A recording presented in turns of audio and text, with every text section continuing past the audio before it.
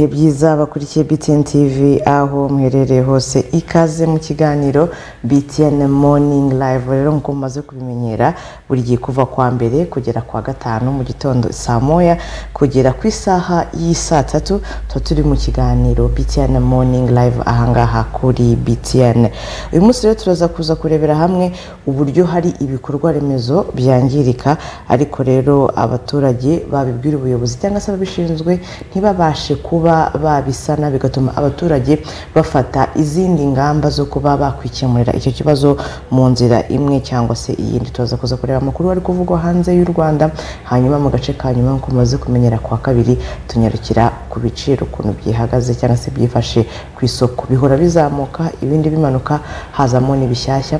Tukaganira aho bihendutse ni hehe? Tukarebera hamwe n'uburyo twe nk'abanyarwanda twagashakamo ibisubizo mu gihe izamuka ry'ibiciro ku isoko mpuzamahanga rikomeje kuzamuka. Ni ikiganiro mugezweho nanjye latifa banegeye mfatanyije na jonathan ndetse na jeff niyo nzima ku buhanga bw'ibyuma kandi mukagezwaho na asante tangawiziti abari kuri youtube ni btn tv rwanda turabana abari muri studio namwe murereza ubutumwa kuri zeru karindwi umunani gatandatu gatandatu umunani gatanu zeru eshatu ubundi dusangire ijambo. Mu kanya tagaruka n'ikiganiro ku buryo burambuye.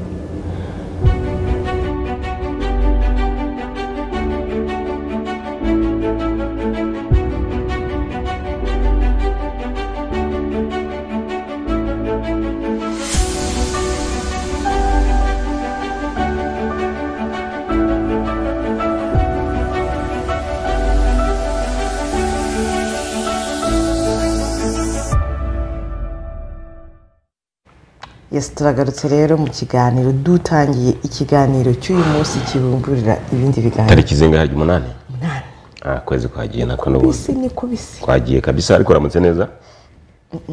Mm, siporo niko imera yakoze siporo ntabwo ari cyane. siporo Mm, umutwe. Mbore ariko birasa bibuza umuntu gukora biraza kuza. Ah, ejo rero ah, hari inkuru zigiye zitandukanye twagiye tubona kuko tujye tunyura no mu binyamakuru bindi bisanzwe tuze kwinjiramo nyuma yaho. birahari. I rubavu piyara yaragize gutya yiba kamera y'umunyamahanga. Piyara public relation. Piyara mu karere ka rubavu. Uba utumye nseka gutyo muri kino Eh. gitondo kuri televiziyo. Uzi uko utumye bagira ngo ndi umwana. PR public relation. Nakubwiye ko mu gihe leta itazafata ingamba z'amashuri ari muri ino minsi n'uburere buriho muri ino minsi tuzagira abategetsi b'ibisambo tuzagira abayobozi b'abapasiteri b'ibisambo. Wabonye ko niba ari muri hehe tanzania umupasiteri naho yageze gutya ngo yaba abana bagiye gukora ibizamini ngo bazana abapasiteri babasengera ahita apirikana umukobwa aramujyana kugeza ubu ntibaramubona aramupirikana. Aramujyana ajya kumuniyo yagiye kumusambanya. Urumva? Urumva rero ngo uraza kuza kumbana muremure. Hari- iyi nkuru wowe zikura he? Nyuma zifite mba mfite imbuga nkoranyambaga ngenda ndiho cyane nyinshi nyinshi. Noneho felicien kabuga nawe nabonye ibinyama- ibinyamakuru mpuzamahanga biri kuvuga ati uriya musaza ni umukambwe agomba kurekurwa akagenda. Arashaje ntabwo ashobora kwibuka. Burya niyo mpamvu inkiko mpuzamahanga zo zubahiriza uburenganzira bwa muntu. Mu rwanda bari kuvuga ati kabuga felicien agomba ku imitungo ye yose igomba gufatirwa akaburana amamiliyari akavagari akishyurwa abantu. Ariko inkiko mpuzamahanga siko bigenda siko bi- siko zibibonaho. Ziravuga ati uyu muntu nimurekure Yego. kuko nta kapasite afite yo kuburana. Nta bushobozi. nta bushobozi. Ntabwo. Aho rero ni udukuru tugenda ducaracara hirya no hino ariko public relation wa rubavu ari mu bantu bambabaje. Ntabwo kubabaje yakudesovye kuko biriya leta dore abakozi ufite leta dore abana ufite nimba minisitiri atangiye kwiba piyara akiba ari we ushinzwe guhuza abaturage n'ikigo. Ni ikibazo kinakomeye. Hari umuntu unyandikiye ukora mu karere ka rubavu ati yaduhemukiyeho kanyagwa mwaduye mu gihe kanyarwa wari uvuze rero ngo turebe mu makuru aba ari gutambuka mu bitangazamakuru ejo inkuru rero yiriwe ihari. Ejo kwa mbere inkuru yiriwe ihari ni inkuru ya perezida wa madagascar. Perezida wa madagascar ibintu yashimye mu rwanda. Ahangaha yashimye isuku iri mu mujyi wa kigali. Iyo bavuze rero isuku iri mu mujyi wa kigali nyakubahwa meya rubingisa yabigurira akantu. ariko noneho abantu bo mu mujyi wa kigali mwerekeze no mu giturage kuko ingi umunsi yagiye kureba Eh. uburyo abaturage babayeho. Eh, Eh. mu mwanzuro wa cumi mu nama y'umushyikirano bavuga ko isuku. igombwa na harya hirya mu dukwe turi hirya aho ngaho. Njyaho ntuye ariko namaze kubigeraho hari umumotari uzanye arambwira ati iyo utambutse baravuga ati dore wa muntu aratambutse. Leta aratambutse baragiye kuturega. Niko umuturage wese yagombye kumera. Ni ukuvuga ngo isuku burya ngewe ndi allergique ku isuku ku mwanda. Niba umuntu ufite umwanda numva afite ikibazo cy'uburwayi numva afite ikibazo gikomeye numva afite ikibazo noneho iyo uri umugore nkabona iwaba hari umwanda mpita mbona utampa amazi ngo nyanywe nta n'ikindi kintu waba ntekereza ko n'ahantu hatogoshe iwawe mu- myanya ufite. Ndagusabye. Reka tugaruke kwa perezida perezida rero yarebye yasanze isuku. Ni ukuvuga ngo Ushatse werekerere aho. yaje- ku cyumweru. Yego. Uruzinduko rw'iminsi itatu birumvikana. Ejo yitabiriye inama y'ishoramari. Yego. yatumijwe na rdb ndetse eh, na- n'abo muri madagascar. Yego. umunsi w'ejo yaganiriye n'umukuru w'igihugu eh, ku ru- eh, mu rugwiro. Nyuma yaho banyura ku rwibutso hari iwanyu areba amateka. Angira ngo ni ku nshuro ya mbere aje mu rwanda. Mm, ariko perezida wa repubulika we yari ya- yabasuye cumi n'icyenda ubwo bari bari mu sabukuru y'ubwigenge ku nshuro ya mirongo itanu n'icyenda. Ntabwo ati u rwanda n'urugendwa n'uzabona umwanya wumva uri disiponibure nawe uzaza ibyo byose uvuze yasuye ariko ikintu yakomejeho cyane yavuze atumwa isuku. Mu mujyi wa kigali. Aho yaciye. Abantu twagendanye mwese mbasabye ko mwigira ku mujyi wa kigali isuku iwacu. byari byoroshye kubona isuku. Uhereye kuri airport aho bamwakiriye aho yari ari ku cyumweru ejo kwa mbere yaje ahangaha muri mariyoti mu mujyi. Eh, mariyoti kandi urabizi ko ikeye. Iyo nama urabizi baba ababyeyi bacu muri radibe nabo babukereye bikoraho rikaka. Eh, inama uko yagenze ibyo bamusobanuriye kujya gusura n'umukuru w'igihugu yamwakiriye yagenye ikiganiro n'itangazamakuru ajya no ku rwibutso. Aho ni ahantu hose kuko ingendo nyinshi abakuru b'ibihugu bakunda kuhanyura ni ahantu hasa neza. Mm, hari amateka. rero byari byoroshye.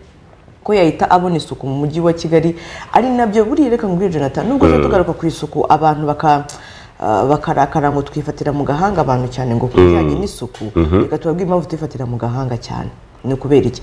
Nimba umukuru w'igihugu runaka aje mu rwanda urabizi ko u rwanda rumaze gusurwa n'abakuru b'ibihugu barenga bane batanu kuva uyu mwaka watangira. Harimo ah, abagiye batandukanye baje. Abo bose bagiye baza jonathan baciye muri kigali baciye mu mujyi wa kigali. Nimba uwa mozambique yaraciye muri kigali nimba uwa niba denis zungusa yaraciye muri kigali niba abo bose baza ubu ngubu yari kumwe na- na- n'abo muri leta zunze ubumwe z'abarabu. Bose bari mu mujyi wa kigali. Rero tuvuga ngo isuku ntikajya igaragara aho ngaho hagaragara gusa ijya igaragara no mu duhigenya ni uko n'ubundi ibyo u rwanda rugaragaza dushyira ku isoko bwa mbere bwa mbere.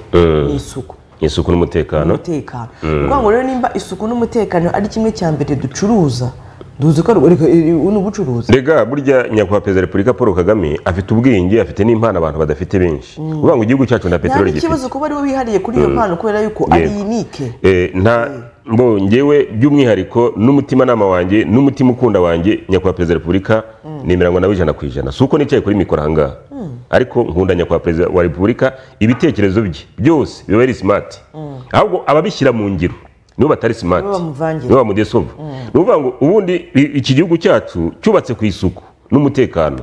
Kuko gisurwa uzi ko hari inama nyinshi igihugu cyacu cyakira. Zinakomeye twagiye igihugu cy'u rwanda cyamaze kwinjira muri bizinesi yo kwakira inama. Eh, inama zinakomeye iyo ni bizinesi ya mafaranga aza twese tukayabonaho akatugirira akamaro mu gihugu cyacu cy'u rwanda. Niba abakerarugendo baje ngo wabonye ikipe ya arsenal uburyo ki u rwanda rwamaze kuba umufatanyabikorwa wayo. Urumva ubwabyo bifite icyo bi- icyo bivuze. Kariya kantu bambaye ka visiti rwanda ukuvuga ngo nimba umukino ari gukinya ah, kuko hakurikirana n'abantu benshi cyane bakavuga ngo visiti rwanda bariya bakinnyi bajya baza mu rwanda bakavuga ati muze murebe ibyo mwamamaza. Yego. Namwe mus- mu musogongere ku byo namwe muvuga bagenda benshi baramusi baragiye baza bo muri paris saint germain bagiye batandukanye baraje muri arsenal. Kandi urabizi yuko umupira w'amaguru ni bimwe n'ubundi mu byinjiza amafaranga ku isi. Iyo rero uwo munyamahanga aje agasanga ya kigali bamubwiye iratengamaye agasanga bya bindi bavuga ngo sura u rwanda urebe ibyiza by'u rwanda. Agasanga kuko niko bimeze. Kuki twebwe nk'abanyarwanda twebwe nk'aba- nk'abayobozi bo mu nzego z'ibanze cyangwa se nk'abo ngabo bose bafite mu nshingano badasigasira cya kintu wa munyamahanga yambaye aha sura u rwanda. Ni wambaye ikirezi utamenya uko kera koko hari igihe manuka ari ku rwibutso nk'uwo muntu tubwiye ngo wibye ngo iki harya? Wibye kamera piyara Yego. public relation. Ngo PR ntabwo yamenye yuko we ari imboni. ari imboni y'akarere ka Rubavu. y'akarere ngo uwo munyamahanga yaraje. Urabizi impamvu bavuga ngo ngo, ngo dukunda ngo abanyamahanga cyane kurusha uko dukunda twebwe abanyarwanda bagenzi bacu. Ni uko uyu munsi yagiye ni we uzatuvuga. Neza cyangwa se nabi. Nanjye iyo nje kugusura iwanyu ndi umushyitsi. Ya mashuka mutajya muryamira y'abashyitsi aba ahari. Nta muntu ujya uyakoraho aba ari ay'abashyitsi. Icyumba cy'abashyitsi. Ngo isinzi ngo ibyo mwageneye abashyitsi. Kugira ngo umushyitsi nagenda atazakuvuga nabi. Aka kanya turi kuvuga kuri perezida wa. Abo- a- delegasiyo yagendanye na yo. Buri muntu afite ikintu yagiye ari gukopera. Eh, azavuga nagerayo. Niba ari ugutera ibyo biti wenda barabifite wenda. Iki ni ikirwa ba- batuye mu mazi. Ni igihugu eh, cyiza kinaruta u rwanda inshuro nyinshi. cyateye n'imbere. Ariko ntabwo bivuze yuko kuba umuntu ari mutoya cyangwa se igihugu ari gitoya nta kintu wakwigira rega n'abanyarwanda bagombye kumenya kuko rimwe na rimwe ari igihe abantu ba- ba- ba- bakora diporomasi y'u rwanda batazi no kubwira abanyarwanda. Bavuga ngo iyo isuku ihari niyo ntuza yacu niyo turi gucuruza. Iyo umutekano uhari niyo turi gucuruza ni ukuvuga ngo uzagere i nairobi. Abantu bazi nairobi. U- ufate amafaranga mu ntoki gutya gusa. Bazagusakiza cyangwa baguca intoki baranagaca bagusimbukane. Bakavana urumva? Uzajye afurika y'epfo. uzajye south africa ujye ubona amabanda haba ahangaha iwacu dufite umutekano. Uvuga ngo niyo amabanda atangiye gushaka kwigira akari akajya inzego z'umutekano zishyiraho akazo kuko niyo brand y'igihugu. Ni isuku n'umutekano. Aho rero ni ho ureba nimba perezida uyu perezida wa madagascar yaje akavuga ati nibishavuga n'igifaransa cyiza cyane. Bakoronijwe n'ubufaransa yego. Nimba yaje akavuga ati isuku umujyi wa kigali rubingisa wigurira akantu. Ariko noneho ukubita itoroshi ahantu hirya iyo ngiyo bandi bo munsi yawe ba bandi bo mu Yego. bashobora kuguteza jonathan kuri televiziyo. yego. nawe ugenda ubakurikira nawe ukubita itoroshi yawe hirya aho ngaho mu gahegeni kuko reka nkubwize nkubwize ukuri latifa gisozi aho ntuye maze ku- kuhakosora nibura nka mirongo irindwi ku ijana. Mirongo irindwi ku ijana. Bazi ko wenda sinzi ibindi bintu ushinzwe bibaho nyine. Kuko ngenda kubwira ngo oya duturanye n'urwibutso. Hariya umuntu ashobora kuza gu- gu- gucika urwibutso agakata hariya inyuma hariya iwacu. Uvuga ngo ibyo yabonye ku muhanda yahita avuga ati aha hantu se ni mu isi ni hehe? muratubeshya. Muratubeshya. Kandi ibyo natwe turabizi. Ariko mm. tuvuga ati nyabuna njyabona hatagira undi muntu ubibona. Ubundi kera iyo abantu bakoraga ubukwe kera abakobwa bajyaga mu cyanzu bakabanza bagakubura mu cyanzu. Bakajya bajya ku irembo bakavuga ati ibi bintu. Kuko mu cyanzu habagamo imikuzo mukuzo ya- yari inzoga nini cyari igicuma kinini bashyiragamo inzoga. Ibibindi biri aho ngaho ibintu byinshi biri aho ngaho. Aho ngaho ni ho bageraga bakavuga ati reka turebe tubanze dutunganye ibyo mu gikari tuze kujya ku irembo nyuma yaho. Noneho n'aba ngaba dufite ba gitifu batumva b'imirenge. Noneho harimo abantu bashinzwe isuku mu mirenge batumva benshi. Ni ukuvuga ngo nimba umujyi wa kigali perezida wa madagascar yawushimye wowe wumva uri wumva wagombye gushimwa wowe uri hirya iyo ngiyo utari ku muhanda. Kuko isuku twe tubona hano ku muhanda ikorwa n'aba mama duhemba umujyi wa kigali uhemba. Umunsi ku wundi. Eh, ariko se uwaza mu ngo izi ngo ziri hafi ahangaha ku muhima hasi aha umanutse ahangaha aho dukorera ahangaha ukamanuka ku kigaraje kiri hano hepfo munsi y'aho dukorera. Ukamanuka ku maresitora ari hepfo aho ngaho aho dukorera. Uretse ko nabonye hano hepfo munsi y'aho dukorera inzu barazivuguruye zisa neza hari n'akayira keza bakoze kamanuka bisa neza. Ariko Bigenda biza. Ariko icyo umujyi wa kigali wagombye gushyiramo imbaraga ni ugutoza abaturage isuku. Cya gitondo cy'isuku kigahoraho. Kikajyamo n'imbaraga. Kuko isuku niyo umujyi wa kigali wubatseho n'umutekano. Cyane. Eh, urumva rero iyo umu- umushyitsi aje iwacu aba agomba kutubona neza cyane yuko n'ubundi biba biri mu nyungu. Hari rero n'ibiba bikurikiraho iyo umushyitsi abakuriye aje hari amasezerano basinyanya hagati y'ibihugu byombi hari ubufatanye basi- basinyanya hagati y'ibihugu byombi. Ibi byose bigenda bigira inyungu ah, ku banyarwanda ndetse n'abo muri icyo gihugu kindi kiba cyageze gute kiba cyaje gusura u rwanda. Urumva rero ko iyo nkuru ihari ni iyo ngiyo y'uko ah, perezida wa madagascar ngira ngo ari mu gihugu ngira ngo arasoza uruzinduko rw'uyu munsi nimba ntibeshya. Tukaba rero mu bikorwa remezo aho hari abaturage rero ah, bagira gutya bakavuga bati ibintu byacu birimo birangirika ariko ababishinzwe bo ntacyo babikoraho. Niyo niyo ntuza turaza kujyaho niyo nsanganyamatsiko turaza kujyaho. Ni ukuvuga ngo na byo biri mu ibyo ngibyo biri mu burangare. Ni ukuvuga ngo nimba abaturage babuze amazi wowe wagombye kuraza inshinga n'uko abantu uyobora babuze amazi. Nimba abaturage babuze umuriro wagombye kurazwa inshinga n'uko abaturage babuze, umuriro. Ngi- njya nyura hano ku gisozi rimwe na rimwe ngahamagara umuyobozi w'akagari amatara ya- yazimye ku muhanda. Amatara azima gute ku muhanda hari ubutegetsi? Uvuga ngo bya bisambo niyo bishobora kuza kwinjirira kuko babonye ko harimo icyuho. kuko abantu babishinzwe mu mujyi wa kigali ntibazi ko ayo matara yazimye. Ariko abaturage batuye ngaho bazi ko amatara yazimye bari mu kizima. Aho ngaho muzi ko hari umutekano haboneka umutekano muke igihe amatara yazimye. Ese gitifu ntashobora kuba atabizi? Kuko si imana. Ariko hari mutwara sibo utambukaho ahubwo abaturage dufite bazi uburyo batanga amakuru. Kuko ni ukuvuga ngo nimba amatara yabuze ku muhanda hariya bo ushobora kuba udafite aho utanga amakuru ariko ufite nimero ya jonathan ushobora kumuhamagara ukambwira ati ariko twebwe turi mu kizimana. Ngiye kuko mfite uburyo ntanga amakuru ngahita mpamagara gitifu w'akagari ntahamagara gitifu w'akagari ngahamagara gitifu w'umurenge. Gitifu w'umurenge atanyumva ngahamagara umujyi wa kigali. Habaye ikihe kibazo ko hano hari umwijima kandi haba ibisambo? Nkeka ko bigaragara ahantu za wenda ku gigasanze hari ahantu amatara yari yarabuze noneho baduhamagara ngaha turi mu kiganiro tuvuga ati twebwe ahangaha hari ibisambo bigiye kutwica. Ariko twahamagaye akarere ka gasabo ni ukuvuga ngo umuturage atanga amakuru gute? Iyo yabuze ibyo bikorwa remezo nkeka ko ejo bundi indera. Hari sete dimanche samedi. Umuturage yarampamagaye twebwe tumaze na mesaje ndazifite hano. Twe tumaze ibyumweru bibiri nta mazi dufite sinkijya no ku kazi. Kanze nkumvishijwe. Yanze hatoze yego. Kanze nkumvishijwe. Icyo dukora twebwe nta kindi duhuza ba baturage n'abantu ah, bari bafite ibibazo. Dore ari gukoma amashyi avuga ati amazi araje. Ku- twebwe ntabwo twicara ngaha turi gukora ah, ibi ngibi gusa wakoze cyane imana iguha umugisha iguha imigisha uzi ko twabonye amazi. Uzi ko twe tumaze icyumweru twarabuze amazi. Nta muntu woga ntawe ufura mwana nyagasani we. Ngo wakoze cyane imana iguha umugisha rwose. Pe iguha imigisha myinshi cyane. Numvishe abo ni abaturage bari indera barakubwira ngo twe twabuze amazi. Ariko hari umuntu uza akayafunga ukora muri muri wasake. Noneho kugira ngo abaturage bayabure nibamara kuyabura ah, bajye kuvoma kuri bya bigega. Nibamara kuvoma kuri bya bigega ba bandi bafite ibigega baze guha wa muntu iki- kitu kidogo wabo ni muri wasake Eh, ubwo we abashaki- aba- abashakiye wundi isoko yego. Ngo aravuga ati abaturage ubwo izuba ryavuye ntibari buze kurebeka reka dufunge amazi ni vane akaraga yamara gukaraga gutya amazi yajyaga ahangaha ingo nka mirongo inani zikaba zibuza amazi we akaza kujya gusaba amasamaki ni ukuvuga rero ngo abaturage ubwabo ntabwo bazi gutanga amakuru. Ntabwo bazi inzego baha amakuru. Noneho n'abategetsi dufite hari igihe utanga amakuru bakavuga ati ariko uriya muntu yigize seshyano ese iyo utanze amakuru bakumva gute? Ntabwo bakubona nk'ikibazo. Nkajya aho abaturage batangiye kungarukira ati isuku ya isuku yaje hano. Bari kungarukira. Ariko ndubaka inzu yanjye nimuke kubera umwanda. None se nashyizemo imbaraga ahubwo mu isuku ikorerwa aho ngaho kugira ngo ya nzu yanjye isigasire. None ni kubera iki abashinzwe ibikorwa remezo nk'uko turi kubivuga badaha agaciro umuturage mu gihe agaragaje ko hari ikibazo gihari? Aha tuza kuza kwenda kunyarukira nyamasheke mu kanya. Yego. Aho abaturage bageze gute? Basenyuwe amatiyo ya- yabahaga amazi.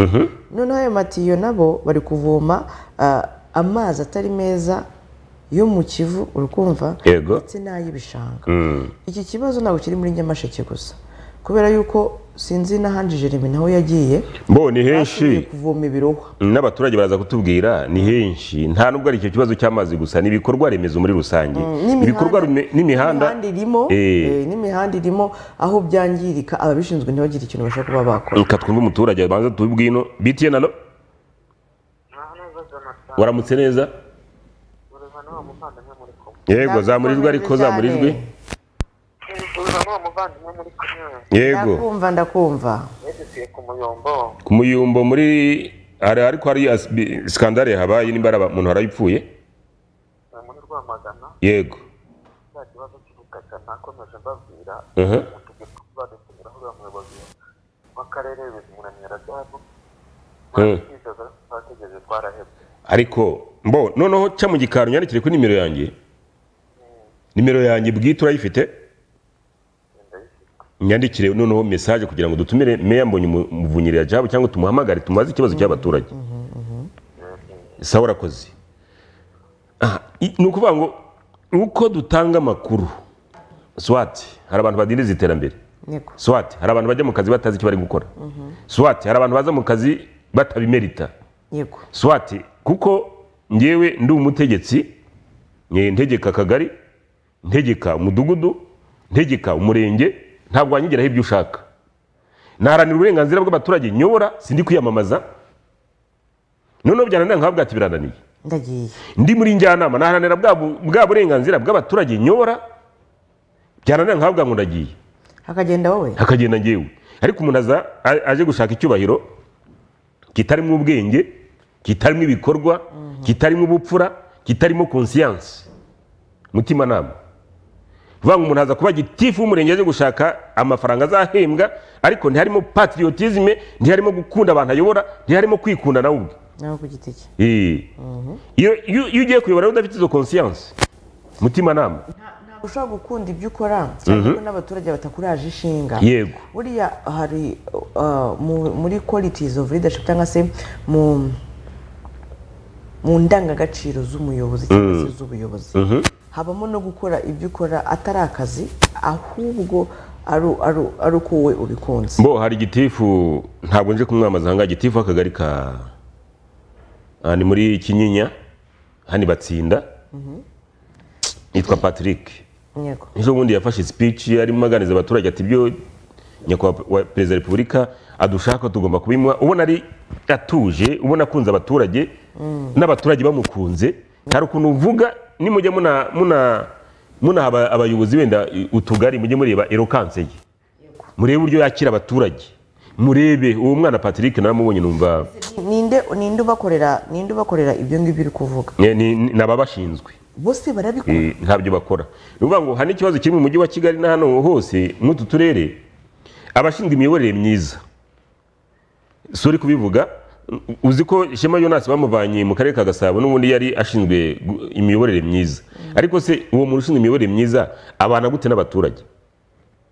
Kuko umuntu ushinzwe imiyoborere myiza yagombye kuba afite uburyo abana n'abaturage. Swati mu myumvire swati mu mikorere swati mu migirire swati akayanta uburyo abakira uwo muntu bakabanza bakamureba ariko twebwe ikibazo dufite kugeza ubu ngubu ah, ndaza kujya gusaba akazi cyangwa baraza kunjyana ahantu kuko babuze aho banjyana. Urumva hari urwego ngiye kwica. Noneho turatambuka ahantu umuntu ari kogereza imodoka mu muhanda nubivuga ngo ye ngo uriya muntu nawe ngo yigize igitangaza. Ni ukuvuga ngo iyo imodoka ziparitse mu muhanda zaraye mu muhanda silivupure buriya habaye skandale imodoka imwe igashya muri bariya abaturage batuye hirya hariya aho ziparikwa. Nibwo babona ikibazo aho kiri. Kuko ntabwo turi abamarayika ushobora gutongana n'umuntu akazana umwambi kubera bya mitekerereze yawe. Akaza gushyira ku modokari yawe. Imodokari yawe iparitse hamwe n'izindi modokari. Uzi ikintu cyabera aho ngaho? Zose ziragenda. Ngo iyo uri umunyamakuru uzi ubwenge ha- hari ibyo uvuga ati "Ngi- ngiye kubikora nishaka imbiziri urumva iyo uri umunyamakuru uzi ubwenge w'umuhanga. Ariko umunyamakuru mwiza si uwapfuye si n'uwafunzwe. Umunyamakuru mwiza ni ureba ibintu akabitekereza akabishishozaho akamagara abantu akababwira ati ariko ibi bintu byakemutse gute? Ni ukuvuga ngo njye biranambabaza iyo ntuye mu mudugudu cyangwa mu kagari nkabona kari gafite abayobozi bari feneya. Mm, bagenda bigura intege. Bagenda bigura intege. Njye biranambabaza iyo nturanye n'abaturage nkabona bafite umwanda. Hmm? njye biranambabaza iyo ntambutse ahantu nkabona hari umwanda. Hatagombye kuba umwanda. Hari abakobwa hari abagore bagombye gukubura aho hantu. Hari abantu bashinzwe isuku. Ese umudugudu ufasha abaturage wenda tuvuge ngo turashaka kuvana abaturage mu bukene? Wenda batatu cyangwa bane. Ya mafaranga birirwa bakusanya ngo y'umutekano ngo sinzi ngo isigiwe nini isigiwe nini birirwa bakutakuta azana ashyira aho ngaho. Bakavanamo inote y'ibihumbi makumyabiri cyangwa mirongo itandatu. Bakagura imikubuzo. Hera nk'ahari iwacu ku gisozi hari umuhanda uhava ukagera ku kigaraje. Bagafata abantu bashaka kubana mu bukene kuko ntabwo turi buze kubaha amafaranga yacu y'ubusa gusa. Twabwira ati "Rero murajya mukubura aha ngaha mugeze ku kigaraje. Ubwabyo ni ukubatoza gukora. Twe turabaha amafaranga ariko mujye muzinduka mu gitondo nk'abakobwa mukubure ukwezi ni gushira tubaye mu makumyabiri makumyabiri si mirongo itandatu. Ba baturage tubavanye mu bukene mu buryo buri bwo tunabatoza gukora. Ariko uraza gusanga umuyobozi w'umudugudu umuyobozi w'i- w'isibo umuyobozi w'iki ni abantu bicaye gutyo ba- bameze nk'ibintu batazi ibyo barimo ntibazi ibyo barimo. Ntabwo bazi ibyo barimo. Kuko ntabwo dushobora kuzajya dufata amafaranga buri munsi ngo duhereze abaturage. Ni na yo mpamvu habamo vup ntabwo twagumye gutekereza ngo ku munsi w'umuganura amafaranga tuze kubwira abaturage ngo nimuduhe amafaranga dukora umunsi w'umuganura. Hari akantu kagombye kuba kari mu mudugudu kaba kari mu kagari kinjiza ya mafaranga abaturage bazabona kuko nimba hari intebe z'umudugudu abaturage bakodesha. Wagize ibirori akaza akazifata ayo mafaranga akora iki? Ayo mafaranga agombye kubungabungwa ubu mwaka warangira abantu bakavuga ati tuzagira ubusabane dore amafaranga yinjiye tugende tu- tuyakoreshe ibi ngibi. Ya mande mwirirwa mwirukanka abantu bari kubaka ngo bari kubaka utujagari. Hari umurenge numvise bavuga ngo yajya ku muntu umwe noneho bakaza kuhabwana na gitifu w'umurenge na daso hari umurenge numvise nzabwira regisi ni muri gasabo tujuru tujuru bayafata bakayashyira kuri nimero y'umuntu umwe bavuze n'amazina ye bamara kuyashyira kuri nimero y'umuntu umwe gitifu akaza kubwira uwo muntu ati nanjye kumuvuga izina tizana hano turi amafaranga yabonetse ari magana atatu ari aya ngaya n'aya esanse y'imodokari aya ngaya ni ayawe aya ngaya ni ay'uyunguyu aya ngaya gutyo. Hakagendaho ni ukuvuga ngo igihugu cyacu nyakubahwa perezida wa repubulika utekereza neza ibitekerezo byawe ni inyamibwa. Biri simati biri simati ariko abantu ufite bamwe mu bantu ufite ntabwo bazi ibyo bakora ibyo ari byo na bya bibazo dufite mu mujyi wa kigali nta nubwo ari mu mujyi wa kigali gusa na- n'abiposita nsanga biri ahantu hose no mu nkiko birimo. Uyu ngo yaturutsa. Uyu yaturutsa. Wagiye kuzamura aho waturutse? Se? iyo muri zayiri wabaga cyangwa hehe wabaga? Aha ni mu rwanda rwa gasabo uvuga ngo we utangiye kugarura bya bindi byatumye ducikamo ibice nawe utangiye kubigarura aha ngaha ikintu waba ukiri ushobora kugica. Ariko umuntu akazi afite kompetansi ha umuntu akazi ashoboye. Uyifata umuntu wagombye gukoropa ngo uze kugenda ngo umugire manager. Icyo ni ikintu waba kidafite ugishingiye aho ngaho. Ni ukuvuga rero ngo impamvu ibikorwa remezo bigenda bipfa rimwe na rimwe harimo defiance imbaraga nke z'ubuyobozi. No kutamenya icyo ukora. No kutamenya ibyo ushinzwe. No kutamenya ibyo ujejwe. Izo ni imbaraga nke z'ubuyobozi. Iyo uri gitifu w'akagari ubundi wagombye kurara usinziriye njye niko mbitekereza. Wamaze kumenya situwasiyo y'akagari kawe. Ukuntu ihagaze. Eh, kuko uko igisirikare gikora uko igipolisi gikora gikorera mu rwanda. Bamenya amakuru amakuru bayahabwa gute? Nawe ibyo bintu wabyize ukavuga ati ariko ngiye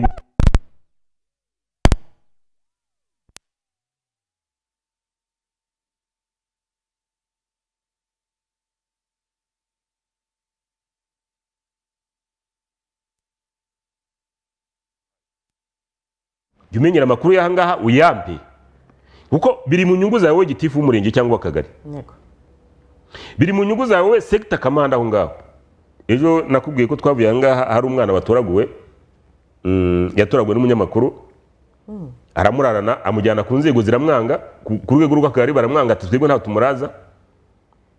Aramurarana ariko byagejeje saa saba atari yabona nyirawe njye ubwanjye nabishyizemo imbaraga. Z'umurengera umwana agera iwabo. Bamujyanye ku murenge umwana avuga ati twebwe uyu mwana se ko afite iwabo nimujyane iwabo. Ariko yageze iwabo mu muryango. Ariko ni n'ishyano dufite aho umubyeyi ashobora kubura umwana akagenda akaryama agasinzira. Mu gihe ushobora kubura inkoko ukavuga ati mana yanjye inkoko yanjye agiye hehe umudugudu wose uratera. Umudugudu wose ugaterana. Rero ni defiance y'imbaraga nke abantu bafite. Ni ukuvuga ngo hari umuntu wanyandikiye ambwira ati aba bantu bari kwiba nta karaba twabonye abaminisitiri biba. Abo ni abafashwe. Hari abadafatwa. Hari abadafatwa. Hari ba meya b'ibisambo badafatwa. Bazi kwiba cyane. Hari ba gitifu imirenge b'ibisambo badafatwa. Bazi kwiba cyane. Hari ba gitifu abagari b'ibisambo biba cyane. Hari ba njyanama biba cyane. Badafatwa. Ni ukuvuga ngo ibikorwa remezo ku gisozi siho nkubwira ngo siho ntuye. Reba umuntu wigize yiba ishyamba rya leta.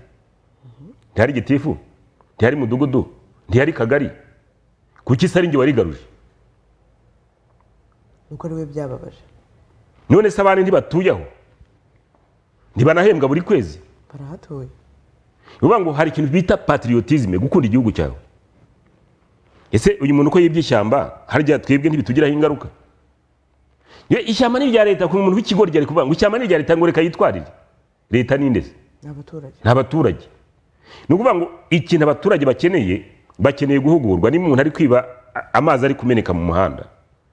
Ni imisoro y'abaturage. Ya mazi niyangiza umuhanda wa kaburimbo. Ni ibikorwa twagezeho biri gusenyuka. Ya bije yagombaga kuzakora ahandi tuzayijyana n'ibyo ngibyo tugiye gusana twagombye kubirinda. Urumva ikibazo aho kiri? Ni ukuvuga ngo imitekerereze yacu mu gukunda igihugu mu gutekereza kuza gutanga umusada wacu ku gihugu cyacu iri hasi cyane.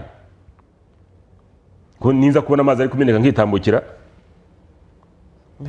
Nta kibazo bimbwiye n'undi agatambuka nta kibazo bimubwiye. Igihugu ubwacyo kiri gusenyuka.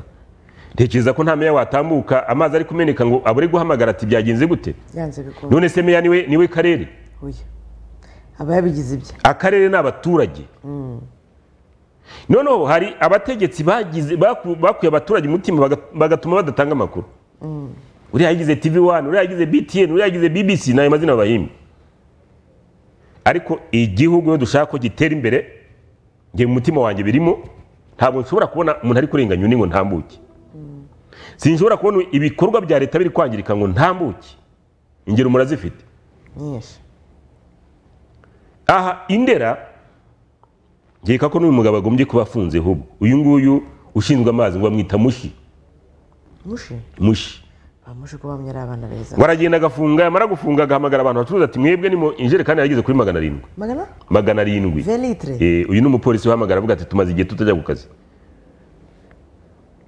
Seti sanfura ahantu bari bari hakurya aho ngaho ariko indera ugasanga hari urugo rurimo abana bane Eh. batanu bari no muri vakanse Yego. bafite ijerekani nk'eshanu cyangwa esheshatu. Zo gukoresha Mm. ukuba iminsi irindwi. Yego. Ariko amahirwe public relation yo muri wasake ni korege twarakoranye. Yego. Ni babiri.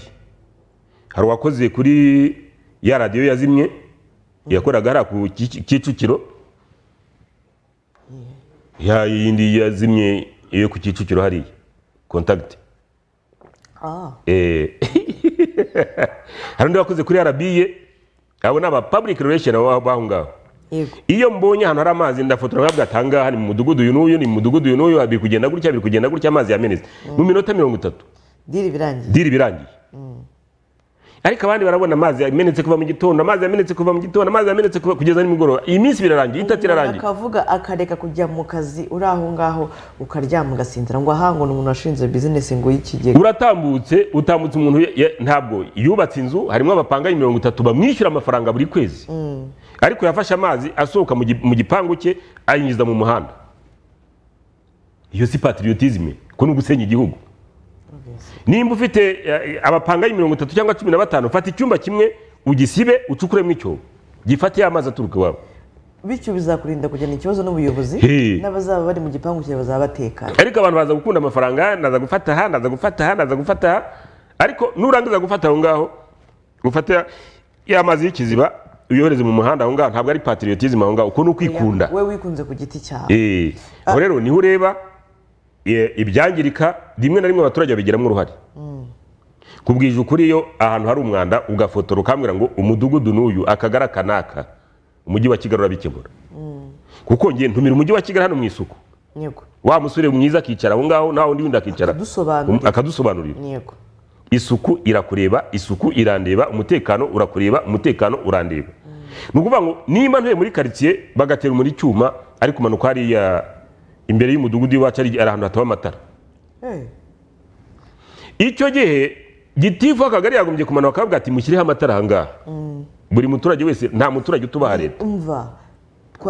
Hashize igihe kinini avuga ati "Ruri- buri Eh, rugo. eh. kuba rufite itara ku muhanda. Ariko ndatambuka nkicecekera kuko gitifu we yatashye. Hari n'abagitifu benshi badataha mu tugari batuyemo. Yatashye we yitahiye za bumbogo iyo ngiyo nkawe ukorera muri nyarugenge. Eh, ariko nta ku gisozi. Yego. Ariko ngenda umunyamakuru ushatse ataha mu bugesera ataha i burundi. Ataha i burundi akorera muri nyarugenge. Ariko ibyo ntibikuraho ko ndaza muri nyarugenge nabona garase umuyobozi w'umurenge nkamubwira ati ariko rero ntuye mu murenge wawe ejo bundi hari umuntu nigeze numva ari kuvuga c'était dimanche. Dimanche nari ndi ku muhanda ndi kohereza amafaranga kuri mobile money kugira ngo abakozi banjye mbishyure.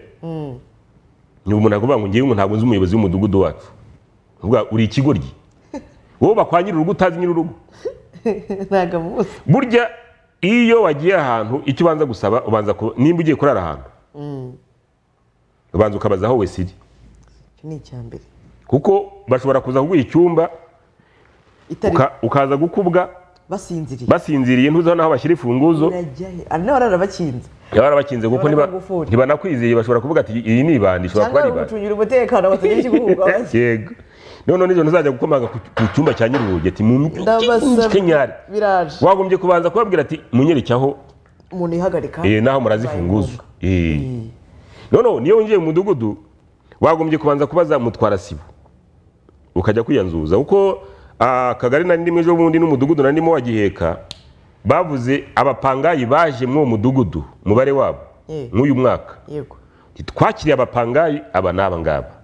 Dusohora abantu basohotse mu mudugudu wacu aba n'aya ngaba.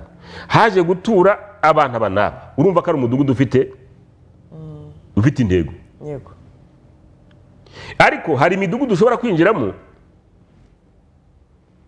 abantu batuye mu mudugudu wawe utanabazi yego kimwe n'uko hari n'abantu baba batazi abo bayobora mu midugudu yabo kuko yakaye y'umudugudu ntayihari ariko iyo uri umuyobozi w'umudugudu uri simati ujya kwa mutwara sibo ukamubwira ati uyu munsi ndashaka ko dutemberana ingo zawe. Nyereka abantu bashyashya abantu bawe ukaba banyereka kuko bituma na wa mutwara sibo avuga ati none ubwo bambaje abantu bashyashya reka nanjye nkomeze ngira apudeti ku ikayi yanjye.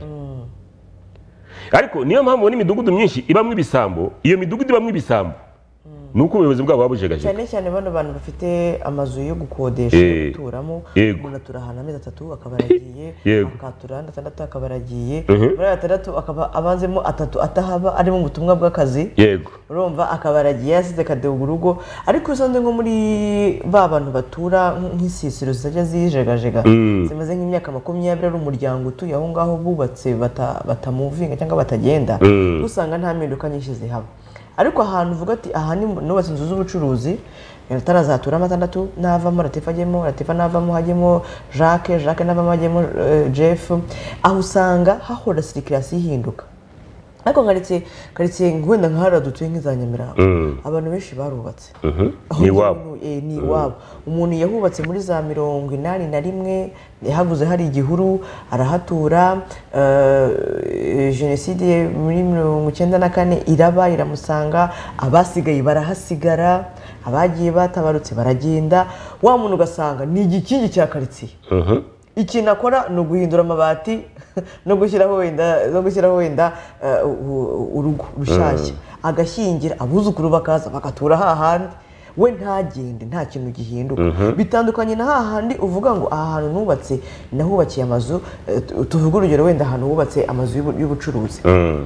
Izo nzu zo ku muhanda cyangwa se amazu yo guturamo. Aho hantu ho hahora sirikirasiyo bituma n'umudugudu waho ahora buri gihe afite ikayi ijyamo abantu nyine icyo ni ikibazo. Iki ni ikibazo cya roko gavumenti ni ukuvuga ngo roko gavumenti yagombye gufata aba bantu ba gitifu tugari bakababwira ati ariko ujye usura isibo ujye usura imidugudu niba umenya ibibazo bafite. Aho rero ni ho ureba ni muri ya miyoborere. Ni ya mburera ni wa mutaka w'imiyoborere idahwitse. Uvuga ngo nimba iwacu mu badive iyo mvuye icyangugu ah, nkaza nkaza i kigali nsaba rekomandasiyo imvana icyangugu aho nasengeraga nkayijyana ku gisozi bakavuga ati dore umuntu ari umwizere wacu namwe dore nimumurebe. Kugira ngo aho ngeze nibambona ndi mu makosa baza- bazavuga ati wa muntu ntabwo ari umwizere ahubwo ni igikenye ubibona iyo nko muri kampani ukoreramo haje umukozi mushyashya. Yego. Atari uwasimbuye cyangwa se ari andi maraso mashyashya bazanye. Ubishinzwe HR araza akavuga ati akajya muri muri departema akavuga ati bene latifa bantegeye azajya wenda avuga amakuru ya saa sita. Akajya kwa banuza kwa ba jonathan nabo mu biganiro. Bene latifa bantegeye azajya avuga amakuru ya saa sita mufite kuzajya mukorana eh, akajya muri muri marketing. Nawe akamugeze ku buryo departema zose ziri muri iyo nzu zimenya ko hari umuntu mushyashya. Mudakwitanira muri korodori cyangwa muri esanseri ukajyana umushyitsi ngenda nagusohora ariko nigeze nsohora umukozi mushyashya eti wowe niba wakuzanye nambwiye nta ntabwo merewe kuhagera Eh, ati ngende mushyashya yikoze bimwe bijyanye by'umusoro Eh, nambwira ubite kuri hano ati nkora hano ntiwe ya uranzi ati sinkuzi none se ugukora no gute ajya kuvuga ati baransohoye Ati uyu ni- mu bwatsi bwe ntabwo twabukumenyesheje amakosa ariko n'uwamuzanye n'uwamuzanye utara- nyine nawe wabwiye ati sori ni mu bwatsi bwa latifa? Yego. nta muntu winjiramo atavunyishe Eh, ni ukuvuga ngo rero iyo rero n'umuntu mushyashya aje muri karitsiye umuzanye cyangwa se uwo buriya na nyir'inzu jonathan wo gukodesha nimba ucumbikira tifa na jeff nka couple nshyashya cyangwa se nk'abantu bawe bashyashya mu nzu ugomba kujya kuvuga yuko ufite abantu bashyashya muri karitsiye mu nzu iwawe. Kuko iyo habaye ikibazo wibwe wibye witabye imana wugize ikibazo akaburirwa irengero kutabivuze. Urumva hari ikibazo cy'imiyoborere. Hari umwana wo gutwandikira ngaha muri ngororero amazi ngo yaje kansome mesaje bonjour gerageza uvuge ku kibazo cy'amazi y'aha ngororero. By'umwihariko mu kagari ka rususa. Amazi yaje umunsi madamu ni perezida buriya yego. Aza, ku, basuye aza kuva mbere na nyuma amazi yahise abura rwose pe. Birababaje. Ibyo turaza kubikurikirana niba ari muri ngororero Eh, meya wa ngororero ni mushyashya mushyashya harya cyangwa arasanzwe. Arasanzwe. Yaragira ati birasebye pe ni wa gitifu ni wa mu public relation wibye w'igisambo. Uyu ni public relation wa rubavu.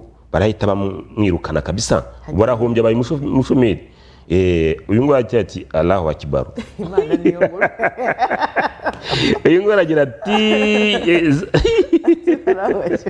uyu aragira ati rwose abaturage eh, baragowe kabisa. Urumva? Aho rero ni ho ureba ugasanga ariko n'abaturage bafite imyumvire kuko gitifu. Ngingi mbabwiza ukuri. Yaba gitifu nta gitifu mu rwanda undusha imyaka itanu. Ntawe uhari ntawe ntawe undusha imyaka itanu. Abenshi abagitifu bameze nk'abanyuze mu maboko yanjye ni- nigisha ndi mwarimu. Ntabwo nabigisha ariko banyuze mu- ishuri wenda ndi mwarimu. Nyamubwira ngo wampa uburenganzira nkongera ngaca inkoni nkajya makubita ngafata agakanzu. Ibyo ntibikunda. Ni- nyine wampa uburenganzira nkabasubiza mu ishuri? Uretse urambwira ngo gitifu ni we uhagarariye akagari ni we uhagarariye umurenge aho ngaho. Barakubwira ngo ujya gusenya ukirirwa ngo ujye gusenyera abaturage ushinzwe kuyoborera umvi iryo shyano. Bakagenda. Nta kubaza abashoboje baba batari ko turabajyanayo urumva? Barakubwiye ngo abaturage ngo genda ngo wirukanki wirukansi udutaro ba nyiragataro. Nyiragataro agomba kubaho kuko kimwe n'uko nawe uri. Afite abana nk'abo ufite afite ibere nk'iryo ufite afite umunwa nk'uwo ufite agomba kubaho. Uramujyana hehe banza ufate ejo nabonaga nimba ari roda kuri televiziyo y'igihugu bari kuvuga ngo ba nyiragataro n'abantu ba ega dufite n'ikibazo kinakomeye cyane. N'ibibazo by'abanyarwanda ntibizakemuka dufite abanyamakuru basigiriza. Dufite abaturage basigiriza. Noneho kwa gusigiriza bigatuma ikibazo cy'abaturage kidakemuka.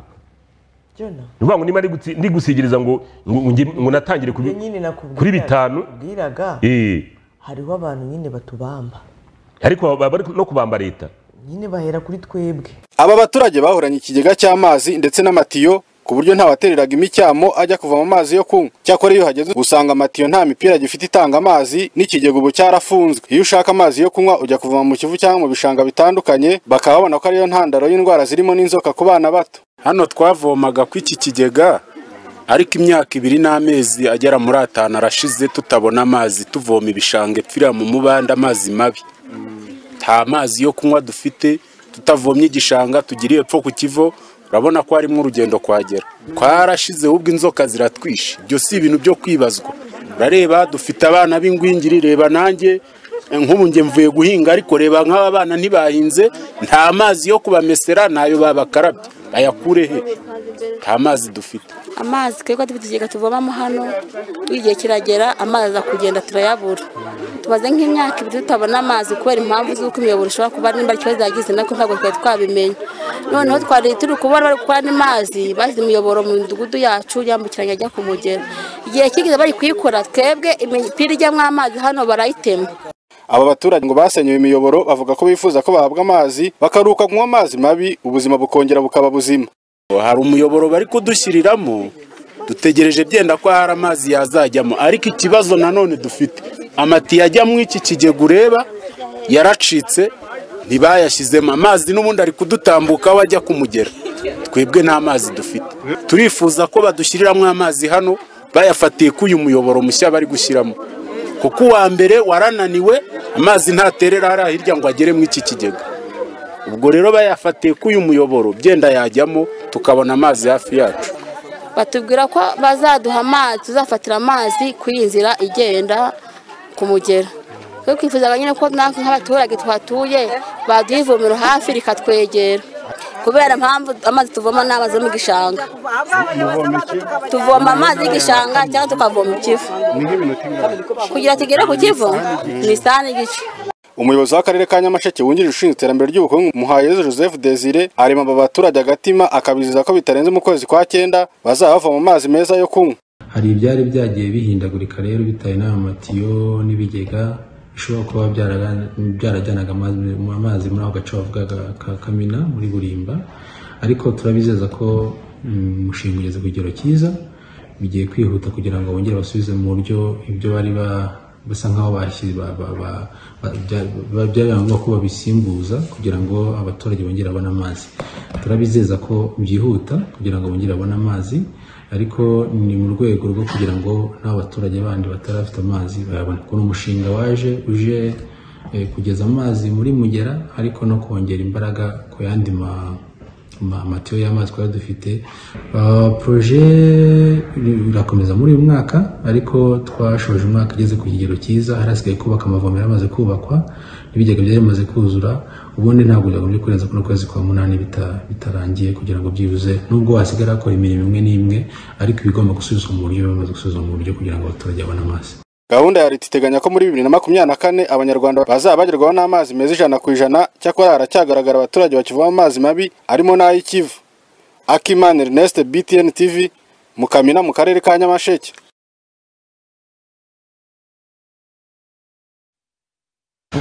Ngaho nguko ni nyamasheke ariko n'ahandi hose ni uko kuko aho nyamasheke ni mu rwanda ubwo n'ahandi ni uko bigiye bimera ni ukuvuga ngo ikibazo ni kimwe. Abana batangiye kurwara. Abaturage impamba yabo ni itangazamakuru. Ni ukuvuga ngo itangazamakuru ritari bajya banabakubita ahubwo ariko muzashyireho n'ikigega cyo gufasha abanyamakuru? Kuko abanyamakuru dukora akazi si uko ndi umunyamakuru dukora akazi. Hari igihe papi ajya kuri tere ngewe nkabanza nkanamazi ati ibi bintu wabonye ni byo koko? Ukabona bidashoboka. bitabaho. Hari igihe remi azana inkuru ukibaza uyu muntu aratekereza wakoze ibi bintu. Hari igihe jeremy jeremy ni we wakoze inkuru yariya za jabana aho umugore yishwe n'umugabo we. Banaduhamagaye mu gitondo ahangaha. Ariko ikibazo ni abaturage badatanga amakuru noneho banayatanga inzego z'ibanze zikayica ubusa. Btn alo mwaramutse baramutse neza. Yego. Karere ka kamonyi ho birakaze rwose mu murenge wa ruyenzi mu kagari ka ni iki gikaze hari inzoga z'inkorano hari umugabo witwa ndahayo jean marie vianney na murumuna wiwe ubwo ntabwo uri kumubeshyera? Ntabwo mubeshyera n'ubu rwose ngewe mwaza nkabiherekera kuri tere fata nimero yanjye fata nimero yanjye nkore igihe tubigenza. Zeru karindwi umunani umunani. Karindwi umunani umunani. Umunani umunani no, tandatu gatatu kane icyenda zeru gatanu ni iminani ibiri gatandatu gatatu kane icyenda zeru gatanu ngo uze kumpa amakuru mu gikari kugira ngo ah, bitaza kugenda biba kuko uri gutanga amakuru n'uyu nguyu ukora ibiyoga wenda akurikiye televiziyo. Ashobora kuza kukwinogoza ariko turaza kubwira meya wa kamonyi silivere harya mu karere ka kamonyi inzoga z'inkorano yanatwandikiye hano zimaze abaturage mu kagari ka kabagesera mu mudugudu wa mahamba mahambara hari umugabo witwa ndahayo ni we bavuze kabisa nguyu bamuvuze bamuvuze bari banakuvuze kabisa. Rero ni we ureba ugasanga amakuru bonjour nyabitekeri bunyangurube twe twarumiwe amazi twarayibagiwe eh, visi meya ntakabeshye bimaze imyaka eh, nyamasheke itanu murakoze. Nimero za visi meya sha muhamagara bakoreye baranse n'ubuze Ernest. Ati bonjour nyabitekeri bunyangurube twe twarumiwe amazi twarayibagiwe visi meya ntakabeshye bimaze imyaka itanu murakoze. Ese umuturage uri yose haya kuno kuva visi meya ari kwitaka. Visi meya shaho mwamenye abaturage. Mwaramutse birakabije mu karere ka kamonyi inzoga ni yayindi nemaze gusoma. Ngo aragira ati mumpe nimero ya mubasha nkwaya ndi ingoma fata nimero yanjye ubwo ngubwo nimba uri ingoma zeru karindwi umunani umunani itandatu gatatu kane icyenda zeru gatanu. Nimba uri umuturage warenganye ubwo ngubwo mubashe nkwaya turahita tumukubita iyi nimero yawe kugira ngo akubwire. Btn mwaramutse neza natwe kicukiro gahanga umudugudu ka kabidandi dufite ikibazo cy'umuriro muke ku manywa uba uhari udahari uzima ukongera ukaba byagera nimugoroba ukagenda burundu ukagaruka saa sita z'ijoro kandi n'abayobozi bacu barabizi ariko ntacyo babivugaho natwe mutuvuganire pe kuko abatawufite turimo hagati y'abawufite. Urumva ikibazo bafite? Yaragira ati ndishimye kuba uri amahoro kabisa. Ashobora kuba ari sheri we yandikiraga uyu nguyu yagira ati igitondo cyiza kabisa latifa na jonathan. Yego. Yaragira ati btn yacu dukunda mudukorere ubuvugizi eh, mudukorera ubuvugizi tukishima mutuvuganire abantu bataha i bugesera rwose imirongo ni miremire turi kurara muri gare. Ngo ni kwa jeff. Eh, jeff kabisa. Hano hari umuntu ukomeye sinima batabakorera ubuvugizi. Ntabwo nza ndumva ntameze neza. Uyu ngo ntabwo aza yumva atameze neza. Uyu ngo se araza hihi urajya hehe? Ntabwo nza ndumva ntameze neza. Muri aho? Kuri inzozi roto kwiyandikisha kwanyu. Kwemewe kuri zeru karindwi umunani gatanu gatatu kabiri icyenda umunani gatanu gatandatu umubare w'ibanga ni cumi na gatatu kane umunani karindwi mu kine impamo inzozi zibaye impamo ampaye nkare tsinda dutsinde kabisa. Byose ko ariko abaturage birangije n'abana beza cyane. Ni ukuvuga ngo wowe nimba ukurikiye btn tv kuko ntabwo turwanya leta turi mu kuboko kwa leta. Kuko dukora mu gihugu cy'u rwanda. Ahubwo ba bantu badashaka ko tuvuga ibi bintu ni mukosore. Kuko nimba perezida wa madagascar ageze mu rwanda akavuga ati isuku mu rwanda ni salamu nitube noneho twumve ko iyo suku rwa mugani turiho. Twumve ko n'abaturage b'aho ngaho mu budurira cyangwa hehe nabo bafite isuku. Kuko ni abanyarwanda. Yego. Nimba batayifite tuyibatoze. Ntuse hari umuntu buhagira agapfa. Hari umuntu batera amazi agapfa. Rero niba ureba ugasanga? Rimwe na rimwe inzego z'ibanze inzego zikurikiyeho inzego zikurikiyeho kuko ntabwo meya rubingisa azamanuka ngo ajye kureba ibiri, ku gisozi meya gitifu umurenge atamubwiye. Atananiwe. Ahubwo gitifu arirwanira akavuga ati ngewe bataza kumbona isombe mu menyo reka nirwanirire nicecekere noneho ibikorwa bikorwe gutyo. Ejo bundi se nta muntu wamenaga amazi mu muhanda hariya ku gisozi. Abwira gitifu ntiyumva. Ukabwira gitifu hagari ntiyumva. Ukabwira icyo gihe umuyobozi w'umujyi wa kigali. Aba bantu bari ko batumva abarigani. Abarigani birapfira he? Birapfira hehe ni umuntu araje arakangaje abaturage ati amazi kuki muyamena mu muhanda. Aragenda ino na nyoni ntazagaruke. Ntiyongeye no kuhaca. Eh, kuko ntahanyura ntibimureba. Nimba mudugudu atamubwiye ntibimureba. Ariko njye nk'umunyamakuru ndaguhamagara nkavuga ati gitifu ahantu ko abantu bari kwangiza aha ngaha noneho we aka- akabishakira inzira. Hoya nta- nta- nta- ntayishake ahubwo nyine urumva we yakaba yabishakira inzira kubera yuko niba umuhaye ikibazo nk'icyo ngicyo si ukumu- si ukumunyega.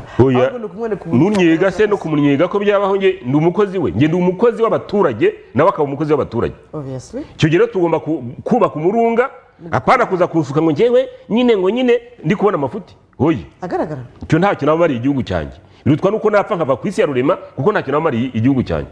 Igihugu ni ukuvuga ngo uracyitangira ubwacyo ukabona ibi- ibitagenda ukababara niko gukunda igihugu niyo patriotism nawe uvuga ngo ntibindebe ukitambukira mama usuriye igiki ko uri ntacyo ahubwo. Noneho uri gitifu umurenge wicaye mu ntebe gusa abaturage we ama- amavunja yarabishe. Bivugiye amavunja yo. Rubavu. usa rubavu noneho ngo ari gahunda ya dusasirane. Janvier arihangana. Eh, iriya nkuru. eh, yakoze y'amavunja aha. wowe uraje ngo none se ngo ushobora kujya guhandura abaturage? Wa mudamu ko yahaciye akamuhandura yari iki? Ni umusamariya mwiza none kuki watamusamara mwiza watwara guhera kandi uri umutegetsi nyine uhembwa amafaranga y'abaturage nshingano zawe. Uri umutegetsi. Ako kantu urumva kumvikana. Niba ushaka guca ku muhanda ukavana ibuye mu nzira ngo undi muturage ikindi kiremwa cy'imana kiri butambuke ntigize Ah, gitari buriya regaratifa buriya uko warizwe ntibikuraho uwo uri we. Buriya ntacyo byaba bitwaye igitifu w'umurenge asanze ahantu hari umwanda agahagarara kuko na perezida wa repubulika yigeze ajya za rwamagana ageze mu nzira arahagarara n'abasore be bavana imyanda iri mu nzira. Byari bitwaye iki? Ni urugero rwiza. Nimba nyakubahwa perezida wa repubulika ashobora gukora igikorwa nk'icyo wowe urinde wowe urinde. Wowe urinde utabikora. Ariko gitifu naza gufata umukubuzi ari gukora isuku yifotoje biraza kuba inkuru. Inkuru yakabaye yuko Eh. Mu gihe nta muntu wakurebaga. Yego. Hari ikintu wakoze. Hari ikintu wakoze. mubyeyi wavanye igiti mu nzira ejo bundi. Si visi meya se hano mu mujyi wa kigali. yaparitse imodoka Eh. akakivana mu nzira akigenda. Nta muntu umureba nta n'itangazamakuru rihari. Uwamufotoye n'uwamubonye yigendera kandi nta nubwo biriya byari inkuru yo kuvuga ngo tujye kora inkuru ngo yakoze iki. Rega latifa dukeneye abantu nk'abo ngabo bigisha bigisha. Ni ukuvuga ngo nakubwiye ngo iyo uri umusitari mu mudugudu utuyemo wagombye kwerekana ko uri umusitari nyego. Ni ukuvuga ngo dufite urubyiruko ruri muri vakansi ese rati ko njya guhaha nyabugogo sinya mbivugira kuri tele- televiziyo aha ngafata umufuka ngabwira umumotari shyira aha ngaha twigendere none se bimbuza kuba uwo we? Mm, ahubwo se bagira ngo ntabwo uba ukoze. None iyo umuntu amubonye ari samabwa ngewe ntwaye kuri moto ntabwo yiga. se amafaranga yawe uba urimo urakoresha? Ntabwo yiga. Ariga. Nubwo nkora kuri btn sigiwe ni ubwo ukora kuri btn wagombye gutanga urugero rwiza. Ukavuga ati ngewe nanyuze ahantu usanga ahantu abantu bari kurwana ndabakiza. Ni urugero rwiza. Nageze ahantu nyabugogo njya guhaha kugira ngo ntange urugero rwiza. Uri gitifu w'umurenge niko wagombye kumera. Ugakubura iwawe abaturage bakakubona ati uriya byuka kubura mbere yo kujya ku kazi. Ariko abantu bigize ba- ba nyiramurata ntoki uburinganire bwarabishe kuvuga ngo icyo wagombye gukora abaturage. Wowe ukomeye ukoze ikintu kiramamara. Na wa mwana uri kwiga muri segonderi aravuga ati se gitifu ukajya kubura umusigiye ubutumwa. Ariko abantu bigize ba nyiramurata ntoki bigize ba nyiramujanjari noneho yafata umukubuzi ari gukubura abanyamakuru dufite b'ibisambo yamufotora yabishyira kuri social media gitifu yakoze iki kindi? No kuba wamufoto yari hariya deja ntabwo ahubwo ngenda ndi kubona ko wamufotoye ahubwo uri kumwamamaza. N'ubundi nicyo aba ashaka? Eh. ni nka marketing. Maketingi uri kumwamamaza.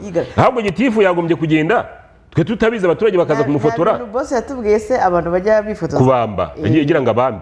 Hariya hari. Nubwo ntabwo ari ijambo ribukoreshe neza. Ariko ryari ririya ariko ni ukuvuga ngo meya rubingisa amanutse aha ngaha kuko perezida wa repubulika aramanutse ari kumwe n'abasore be b'intarumikwa barya abasore b'intarumikwa arahagarara ati muhagarare.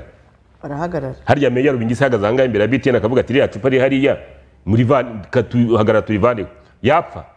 Nta kintu na kimwe yaba. Ya- ari cyo yaba? Habe. Kuko nanjye ubibonye navuga ariko meya ko yahagaze. Ukamenya icyo yakoraga. Ariko twebwe icyo tubuze kwigana ba gitifu b'imirenge bamwe ni ukujya kubyina mu kabyiniro ni ukujya gusambanya abagore b'abandi ni ukwigira ibikenya ni cyo turabigiraho. Ariko ni ukuvuga ngo nimba uri minisita ukaba ushinzwe iterambere ry'umugore hari ibyo wagombye gukora kugira ngo abagore ba- eh, bakugirireho urugero. Bakwigire ushobora kuba uri minisitiri nawe iwawe byarakunaniye iwawe hari sakisaki ushobora kuba uri gitifu iwawe hari sakisaki ushobora kuba uri meya iwawe hari sakisaki uraza kubwira abaturage iby'umuturanyi hehe urabikura hehe ni na yo mpamvu turi kubura abizera mu itorero. Pasiteri ni umusambanyi. Umukuru w'itorero ni umusambanyi. Harya uraza kubwira abizera iki? Shehe ni umusambanyi. Uraza kubwira abantu uyobora ibiki urababwira aho rero niba ureba niba gitifu adashobora gufata umweyo ngo akubure iwe. Noneho abe urugero rwiza abe gikuru cyiza ntabe gikuru kibi ntaho turi kwerekeza tuzabona ba gitifu b'ibisambo bashaka ayo mafaranga kugira ngo bajye mu iraha baze kujya kubyina nimugoroba. Tuzabona ba gitifu b'abasambanyi kugira ngo aze gushaka amafaranga ajye mu iraha. Ariko gitifu mwiza n'ufata umukubuzo nimba ari umumama agatanga urugero rw'aho atuye. Kandi rwiza. Gitifu mwiza ni wa mumama ushobora guhamagara abaturage baturanye akabaganiriza. Uwo ni we gitifu mwiza. Yego. Ariko umuntu ari aho ngaho yi- yi- yigize nyiramariza ya ndirimbo y'impara ariko bajye muyumva ntazi iby'iwabo. Nta ni- n'ikizungu ntabizi. Uwo ngo ngo ni we ugiye kuba ngo gitifu ni we ugiye kuba meyazi ariko nge abantu nigishije barabyibuka ba- abitwa ba muri. Iyo twakoraga isuku ntabwo navuga ngo ndi mwarimu ndi diregiteri najyanaga n'abana kuko abana nigisha ntabyo bazi. Ngewe mukuru ni ngewe uzi uburyo ndabereka uburyo barabigenza kuko umwana ashobora guharura akaza guhinga. Kandi wabwiye guharura. Wewe banza ufate isuku umwereke Agasesereza. eh, um- muraza kubigenza gutya muraza kubigenza gutya ubabe hafi. Ariko dufite ishyano gitifu ba gitifu bajya kubyina mu tubyiniro. Dufite ishyano ba meyazi bajya kubyina. Hari meya ngo bafashe ari gusambanya umugore w'abandi bitagiye ku karubanda. Hano hano i kigali. Ko bitagiye ku karubanda. Kandi warabimenye ariko ntibyagiye ku karubanda kuko meya nyine ari umuntu w'umujyama w'umujyama n'abanyamakuru. Aho rero niba ureba ikibazo dufite kiri mu myumvire y'abaturage kiri mu myumvire y'abadutegeka kiri mu myumvire kuko perezida wa repubulika nta kintu arashyiraho. Abantu bari kumva ko ari cyiza. Reba mituweli. Ubwisungane mu kwivuza. Ariko ubwo bwisungane mu kwivuza nyase bugerwaho ijana ku ijana. Hari abahabwa imiti hari abatayihabwa hari abavurwa kuko nyine ngo ari abangaba abandi ntibashobora kuvurwa si yo objectif leta yashyizeho. Ahangaha rero tuvuga ngo ahangaha bafite amazi aba ntibayafite kuko ntabwo naryamanye ndi meya mukamasabo. Apoloniya nyamasheke. Ntabwo nasinzira abaturage bari kumbwira ngo nta mazi dufite ari bwo ushinzwe kuyobora. Bari mu nshingano ntabwo nasinzira hari imihanda batanyuramo aho ngaho nyamasheke nako ntango nyamirundi. Abantu batanyuramo kandi habaga bisi ya onataracom yahanyuraga ntabwo nasinzira. Icyo gihe rero uri umuntu uri aho ngaho gusa uhagaze aho. Ndi meya ariko nta kintu umaze. Mujye mutobora kubivuga gutyo kuko twe turi abanyamakuru. Urahura imeya gusa abaturage barababaye abaturage bari ku inzara iri kubarya abaturage bari ahubwo ibyemezo ufata n'ibyemezo bipfuye. Aho nimba abaturage babuze amazi ese ya njyanama mbere yo gucarenjinga meya ya njyanama imaze icyo aho ngaho? Ese ba bafatanyabikorwa b'aho ngaho mu karere ba- bamaze icyo aho ngaho? Ni ibintu by'ibisambo bishaka gukora koalisiyo yo kwiba gusa ariko abaturage batabarengera. Ni ibintu by'ibisambo biraba bikanuye amaso nk'uyu nguyu visi nk'uyu nguyu uh, wibye rubavu akiba kamera y'umu- y'umunyamahanga. Nabo dufite nabo dufite gusa nta konsiyasi ni ukuvuga ngo hari abapolisi batuye amafaranga hano ku kibuga cy'indege. Urabyibuka. None se uyu muvunamyambi yaza gufata iyi kamera? Akavuga ati dore kamera yanyu nanze ko ibisambo biyiba. Akabungabunga. Ese nta mwana wagaruye n'ubundi ibikoresho by'umu- by'umunyamahanga ngira ngo ari umukerarugendo Eh, ariko twaje kumenya ko hariya ku kibuga cy'indege haba kamera. Unayatoraguye baga- bara- barakubona muri kamera. Ushobora kuyatanga atari umutimanama ahubwo ari ugutinya. Icyo ni cyo dushaka. Wikora kubera yuko n'ubundi urumva? Jya umenya ko nk'ubu ngubu hari ibintu ntakora ahangaha. Yego. ndabizi ko muri gundeba Ehe. nshaka gukubita ingumi sinayigukubita kubera yuko abaturage bose tuvuge twagiye rusizi tugiye kurara ahantu. Dusanze ari umuntu wabyutsemo. Yego. atamwa ibifaranga. Yego. Ayo ntabwo twayabasubiza turabitoraguye turabitanze tubwiye manager ati dore aya mafaranga hamagara umuntu nyirayo waraye ahangaha. se wowe? Nayatanga. Njye ntabwo ngiye ko amafaranga yanditseho nyine yanditseho banki nasiyonari y'u rwanda. Ariko hari umuntu warayemo ashobora kuzamo yadufatiramo twarayemo ati ko twasimburanye ahangaha ninde wayatwaye? Nta foto nta cyabaye jona umunyamakuru agahita yamukira ku karubanda ati cya kisaza kirwa kisasanura hariya. Kuri biti ti burya ni umunyoni. Umupira w'abandi we ntiwamwanjamo urumva rero piyara piyara aho ngaho za ntuza aho ngaho? Za rubavu. Ni abo bantu dufite no mu banyamakuru harimo ibisambo. Urumva. None se piyara si umunyamakuru?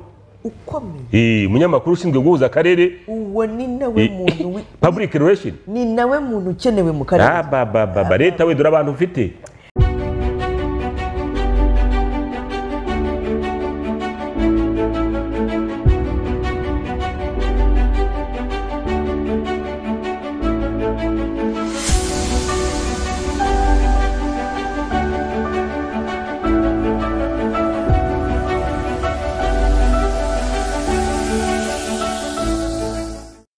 Turacyari mu kiganiro btn morning live tugeze rero muri wa mwanya tubarebera amakuru arimo kuvugwa hanze y'u rwanda. Umutekano rero ukomeje guhungabana mu mujyi wa ishasha uherereye mu birometero ijana na mirongo itatu mu majyaruguru ya goma muri gorupoma ya binza teritwari ya rushuru. Ni umutekano muke bivugwa ko uterwa n'imitwe yo kwirwanaho ah, bakunze kwita wazalendo ndetse n'inyeshyamba za fdr zirwanira muri kariya gace. Ariko zikagenzurwa n'igisirikare cya leta.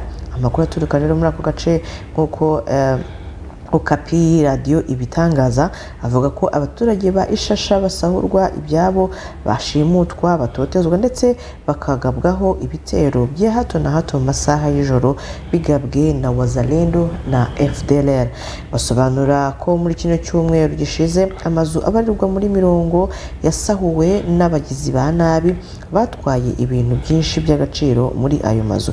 Izi nyeshyamba rero za- za wazalendo zivugwaho gushinga bariyeri zirenga umunani ku muhanda wa kiseguru lihada aho bishyuza amafaranga igihumbi ya kongo kuri buri muntu uhatambutse.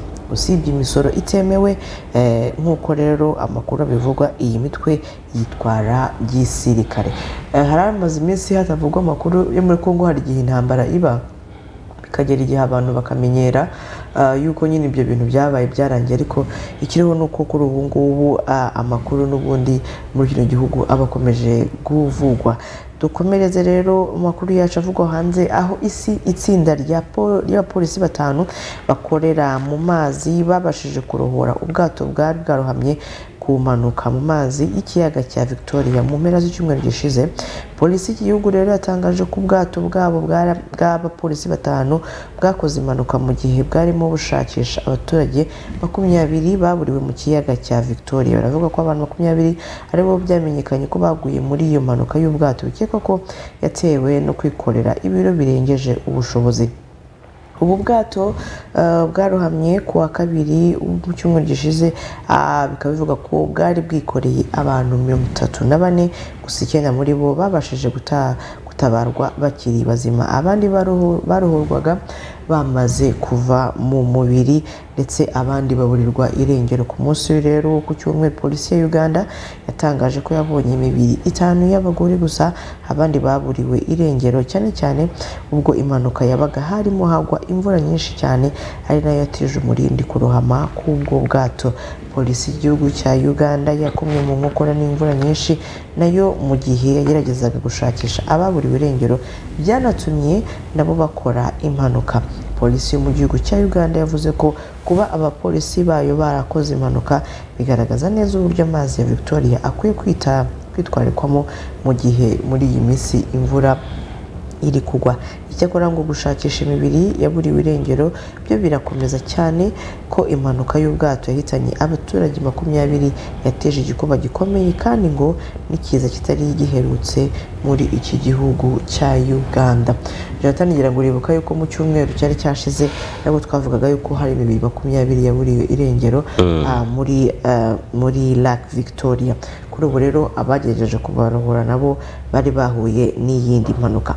Aya makuru rero avugwa hanze y'u rwanda tuyagezwaho na prime life insurance. Abangaba rero akaba ari sosiyete d'assurance cyangwa se ikigo cy'ubwishingizi kidufasha kuba ah, twateganyiriza abana bacu. Prime life insurance ubundi bafite ibintu byinshi bitandukanye eh, cyane bijyanye n'ubwishingizi ubw'amazu eh, bw'inkongi n'ubundi butandukanye ariko kuri ubu ngubu mu gihe ah, abana bari muri vakanse ubwishingizi burimo kuvugwa cyane cyangwa se ikiri imbere cyane muri prime life insurance ni umurage w'amashuri. Turi mu kwezi kwa munani abana bararuhutse ariko ejo ni mu kwezi kwa cyenda abana baraba basubiye ku ishuri. Iki rero ni cyo gihe cyiza cyo kuvuga ati umwana wanjye azajyana iki ku ishuri. Ese afite amakayi? Afite minerivare? Afite umupira w'imbeho? Ese afite ibyo azakenera byose? Eh, uniforme ndetse n'ibindi akenera ajyanye ku ishuri. Igihe rero ni iki cyo ushobora kuba wateganyiriza umwana wawe ukaba wamuteganyiriza kujya ku ishuri ameze neza. Ubigenza ute rero? Ni akanyenyeri ijana na mirongo irindwi na karindwi urwego ukajya kuri kane amategeko n'amabwiriza ukayubahiriza. Harimo kwiyandikisha ugatangira kubitsa amafaranga yawe agenda azamuka. Amafaranga make yoheraho ni ibiceri magana abiri. Yego. Gusa. Ntabwo ari inoti ni ibiceri kabisa. Kuko nta noti ijana mu rwanda ihari. Igiceri cy'ijana. Ni igiceri cy'ijana uba ufite bushya mu ntoki ugenda ubikora. yabikubita hasi. Ni ukuvuga ngo rero ah, ibiceri magana abiri ukabishyira ah, muri iyo konti yawe uba wamaze gukereya. Igihe cyose ufite umwanya ayo ufite yose? Akazi kose waba ukora ushobora kuba wumva ukora akazi gaciriritse katakwemera kuba wateganyiriza umwana wawe ariko niba winjiza magana atanu cyangwa se igihumbi ku munsi ukavana n'ibiceri magana abiri ukabikira umwana wawe. Nkuko uvuga ati aya ngaya ndaza kuza kuyagura wenda irindazi ry'umwana kuyagura wenda akaji k'umwana. Ukajya uvuga uti niba namugeneraga magana atanu ku munsi reka ducemo kabiri. Nyimuha senkisa nyimuha magana mirongo itanu andi nyamuzigamire. Bizagufasha iki rero? Ibiciro biri kuzamuka turabizamuka tugeraho mu kanya igice cya nyuma. Byibuze ubaye ugiye gutangira ishuri ry'umwana igihembwe cya mbere ufite icya kabiri cya minerivare andi ntabwo ushobora kugira gute kuyabona niyo navuga ati papa ngewe niba minerivare y'umwana ari ibihumbi mirongo itanu. Mfite 25 mili nguza umwana yige noneho ngiye nzaya kuko ufite aho uhera. Ubundi icyiza cy'aha ngaha si ukubona minerivare yuzuye imbumbi. Ahubwo we ni ukukwigisha uburyo ushobora kuba watangira kubona amafaranga make makeya. Yego. urazi ko ujya uvugana n'abantu bakakubwira ati umwana ajya gutangira ishuri nari mfite amakaye n'umupira w'imbeho na minerivare ariko ndabura ka kakarita ka mirikadi ko ku ishuri. Yego igihe ni iki ngiki cyo kuba wagura amakaye ukayabika? Kuko amakaye ntabwo abora ntabwo abora. urayicarana ugure makeya. Noneho cya gihe wowe uvuga ati ishuri riratangiye. Wikwisanga mu kwa cyenda uri emputi nta kintu na kimwe ufite. Ubu nubwo uri kugura abana imikati ukabagurira i- i- Nibyo top milk navugaga. ukabagurira iki? Ubwo navugaga niba umwana uri kumugurira umukati w'igihumbi wamuguriye uwa magana atanu magana atanu ukayashyira hano mu murage kugira n'ubundi ararya pe. Agomba kubaho kuko umwana muzima agomba kuba afite amagara mazima. Ariko nanone ukeneye kwiga kugira ngo wa mubiri muzima uri kubaka uzabone n'icyo uzakumarira. Eh, camo kabiri rero uvuga uti nimba ari agakati k'igihumbi bika magana atanu muri muri muri prime life insurance. Umurage w'amashuri nta kintu ari bubi. Turaza kubicamo mu gace kacu ka nyuma kuko turaza kwigera ku biciro n'ubundi. Hari nta nimero uba hariya ku murage? Uh, ku murage iyo uri kwiyandikisha ni akanyenyeri ijana na mirongo ine na karindwi urwego ukajya kuri kane ugakora amategeko n'amabwiriza ariko ukeneye kubahamagara ni cumi na gatatu makumyabiri. Cyangwa se ahantu ubona prime life insurance ikwegereye aho ngaho uri mu mujyi branche eh, zigiye zitandukanye. Iyi iki ni cyo cyita rusange kiri muri prime life insurance ni umurage w'amashuri aha iyo umaze rero kuraga umwana amashuri ujya ugera muri top milk. Umuha n'amata Eh, top milk akayinywa kugira ngo azagende avuga ati papa burya arankunda papa arankunda. Niba wari bugure udukarito tubiri. Yes. Uragura kamwe. Uragura kamwe. aya kandi gakarito ushyire mu murage. Urabona yuko bucyana arabishoboye kabisa aravuga ati ngiye kubanza kugera mu mashuri maze ma- babyita rya kubonja abana? Abana bazi bumve top milk. abantu bacuruzaga ubunyobwa. Yego. afite akayiko kajyaho utunyobwa dutatu. Ngo mbonje numve ko umunyu wakoze nabonye rero ariko ukata mu bigo by'amashuri bitandukanye avuga ati katumisha amata nyamata kabisa aturuka mu icere ry'inkoko yakabaye. Inka zirya ubwatsi busanzwe apana za ziri zirya imitumba. Zirya imitumba zirya umukenke. Eh. niyo mpamvu mva harimo kanevera kabisa. Uretse ambaraje yayo gusa ibindi byose ni amata y'umwimerere kabisa. Ni ibinyarwanda gusa. Ubwo rero nimero yayo jeff turebe nimero yayo abana bajya kurangura kugira ngo ni muri vakansi abana bariye akanovera kayo maze nimba udafite amata uri gucuruza aho ngaho muri karitsiye ntacyo urimo urakora aho ngaho. rero ni amata meza y'abantu bakuru ndetse n'abana. Wabonye ko wa muntu wamamaza yavuga ngo "Ah, ngo ni bido wayanyoye. Kandi ari umuntu mukuru ngo aya mata Yarimo arajijisha. i- aya mata ni ay'abantu bakuru abana. ay'abana. Mm. aya mata nubwo tubabwira ngo kwa murokore wayasangayo no kwa mushi no kwa kazungu burya no muri superi marishe uyasangamo no mu mabutike yose. Ni umunani umunani icyenda rimwe ine karindwi ine n'icyenda. Nimba ucuruza reka nkubwire nimba ucuruza muri karitsiye ukaba udafite top milk. Ntabwo ari kuba naje ngaha mu gitondo kugira ngo wenda mbasetse ahubwo mbagira nkubwire ngo n'ahantu ushobora gukora business. Mu kanya turajya mu gice cya business. Tugiye rero ngo nimba ucuruza hariya ku gisozi ukaba ucuruza hariya mu gatsata ukaba ucuruza kwa muzungu kwa murokore aho uzabatsinda udafite top milk. Ndakurahiye. Nimero karindwi zeru umunani umunani. Zeru karindwi umunani umunani. Cyenda rimwe kane karindwi ine n'icyenda. Bahamagare imodoka ize yuzuye ipakurura aho ngaho iwawe ubabarire amafaranga babwira ati cyangwa nimba utanayafite uyasige aho ngaho bazaza bafate amafaranga nta kintu wigendere nkaho nta cyabaye aha turerekeza ahandi he? Ma. kanyuma gasoza ikiganiro ariko hari abantu bari guhamagara bavuga ati muduhe nimero z'abanyamakuru bacu. Ni ukuvuga ngo iyo uhamagaye hano ngo tuguhe nimero z'umunyamakuru wacu ntituzi aho uherereye ahubwo ufata nimero yanjye zeru karindwi umunani umunani itandatu gatatu kane icyenda zeru gatanu. Noneho ukatwandikira utubwira ngo ndashaka umunyamakuru w'i Rusizi ndashaka umunyamakuru wa Nyagatare kugira ngo tuguhuze nawe. Ni zeru karindwi umunani umunani itandatu gatatu kane icyenda zeru gatanu. Nawe kuza kwandika ngo ndashaka nimero z'umunyamakuru wanyu Yego. Hari igihe waba ufite ibibazo hari igihe waba ufite amakuru ushaka kuduha ariko hamagara kuri iyo nimero yanjye niyo ituma nguhuza n'umunyamakuru uri urusizi uri iburasira bwaryo kugira ngo muhuze intekerezo nimba ari ubuvugizi gukorera gukorera ubuvugizi. Latifa tugiye mu gace ka nyuma ka gatatu k'ikiganiro cy'umunsi cyo kuwa kabiri. Ni n'ubukungu urebye. Ye n'ubukungu ubukungu. Ariko habuze umuntu wamamaza muri iki kiganiro cy'u- aka gace ka gatatu akabamazamo tuzabyikorera. Wa muntu w'amasamake nabonye papi ndashaka ko muri kano gace k'ubukungu nka rimwe cyangwa se kabiri mu- kwezi. Eh, twajya dushaka wenda nk'inzobere mu bijyanye n'ubukungu. Yego. Ariko biriya na kevi burya nabidukorera cyane ko afite n'ikiganiro cy'ubukungu Mm. dukora ubukungu. Yego. N'uyu munsi mu makuru ku wa kabiri aba ariho tugeze ukuntu ibijyanye n'ubukungu ukuntu bimeze. Ariko ahangaha burya niyo utakwamamazamo ni wowe waba uri kwihemukira kubera yuko aha ni mu bukungu ni mu bucuruzi ni mu mafaranga. Ah, ngira ngo iyi experience murayifite twabuze batsinda batsinda ko ari ibyo bihendutse abantu bava imihanda n'imihanda baraza. Icyo nzi wa. icyo nzi cyo Eh. icyo twakoreye batsinda. Kuba kitarabaye cyiza Eh, kuri- kabisa. Abantu bahatuye barababaye kuko ibyo kurya byara- byarabuze kuko abantu baturutse imihanda baturutse rega buriya batsinda. Hari umudugudu witwa witwa ngukira.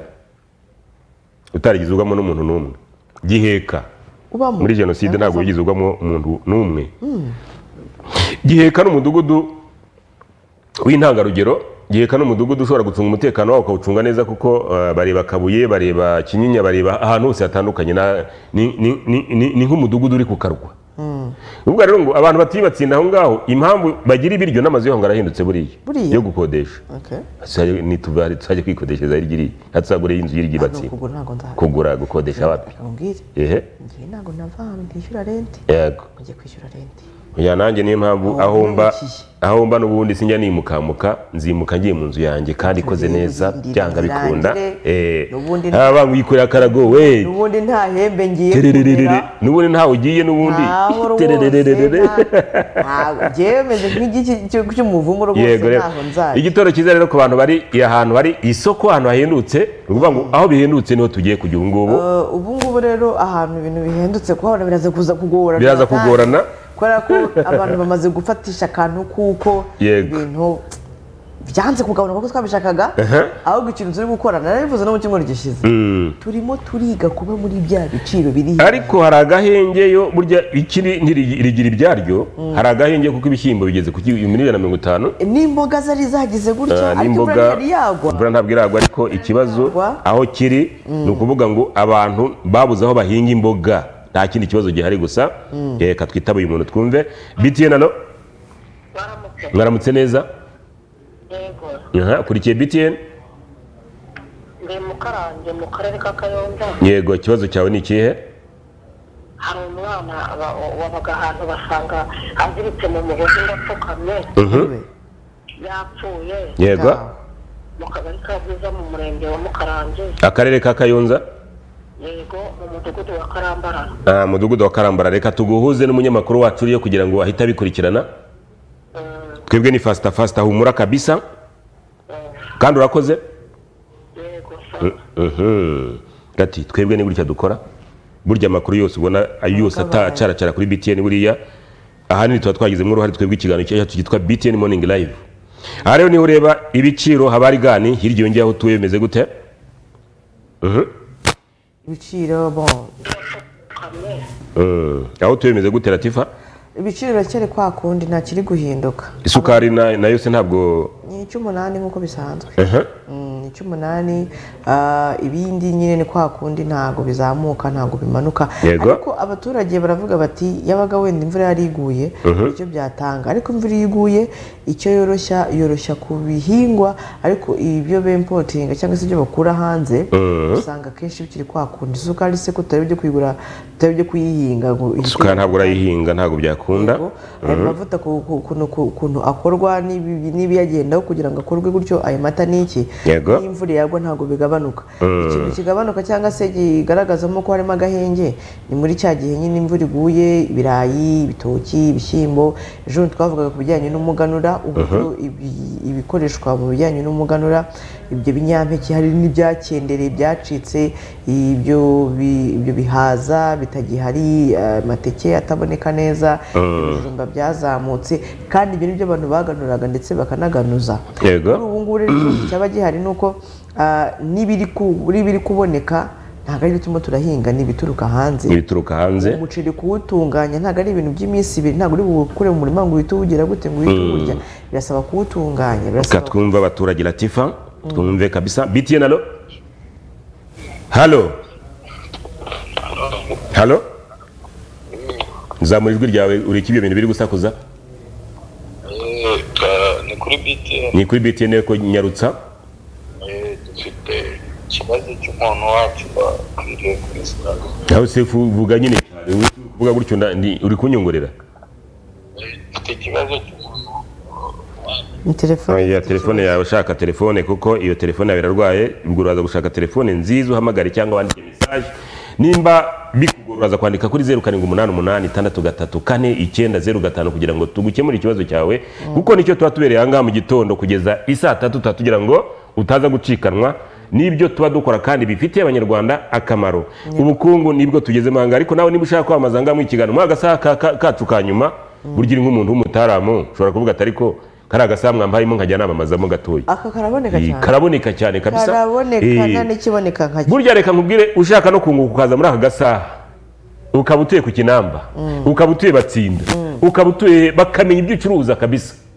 Keka ko nta muntu wagusha gucuruza. Ntawe aha rero tuti turebe ibiciro ku isoko Yego, uko byifashe. ukuntu biba byifashe ibiciro ku isoko bihora bihindagurika bimanuka Eh, ni n'inshinga zose ukamenyesha ahantu ibintu ahantu biba aho bigeze kabisa. Yego. Ya, btn alo muduhe nimero y'umunyamakuru wanyu wadufasha dufite ikibazo cy'umuntu wacu wa- wahiriye ahantu kuri sitasiyo wowe uherereye hehe i remera i remera ya gasabo. Eh, andika nimero yanjye kugira ngo umpe mesaje andika nimero yanjye kugira ngo umpe mesaje tugushakire umunyamakuru usimbukira aho ngaho. Reka andika nimero yanjye. Eh, zeru karindwi umunani umunani. Zeru karindwi umunani umunani. Itandatu gatatu. Itandatu gatatu. Kane icyenda. Kane icyenda. Izeru gatanu.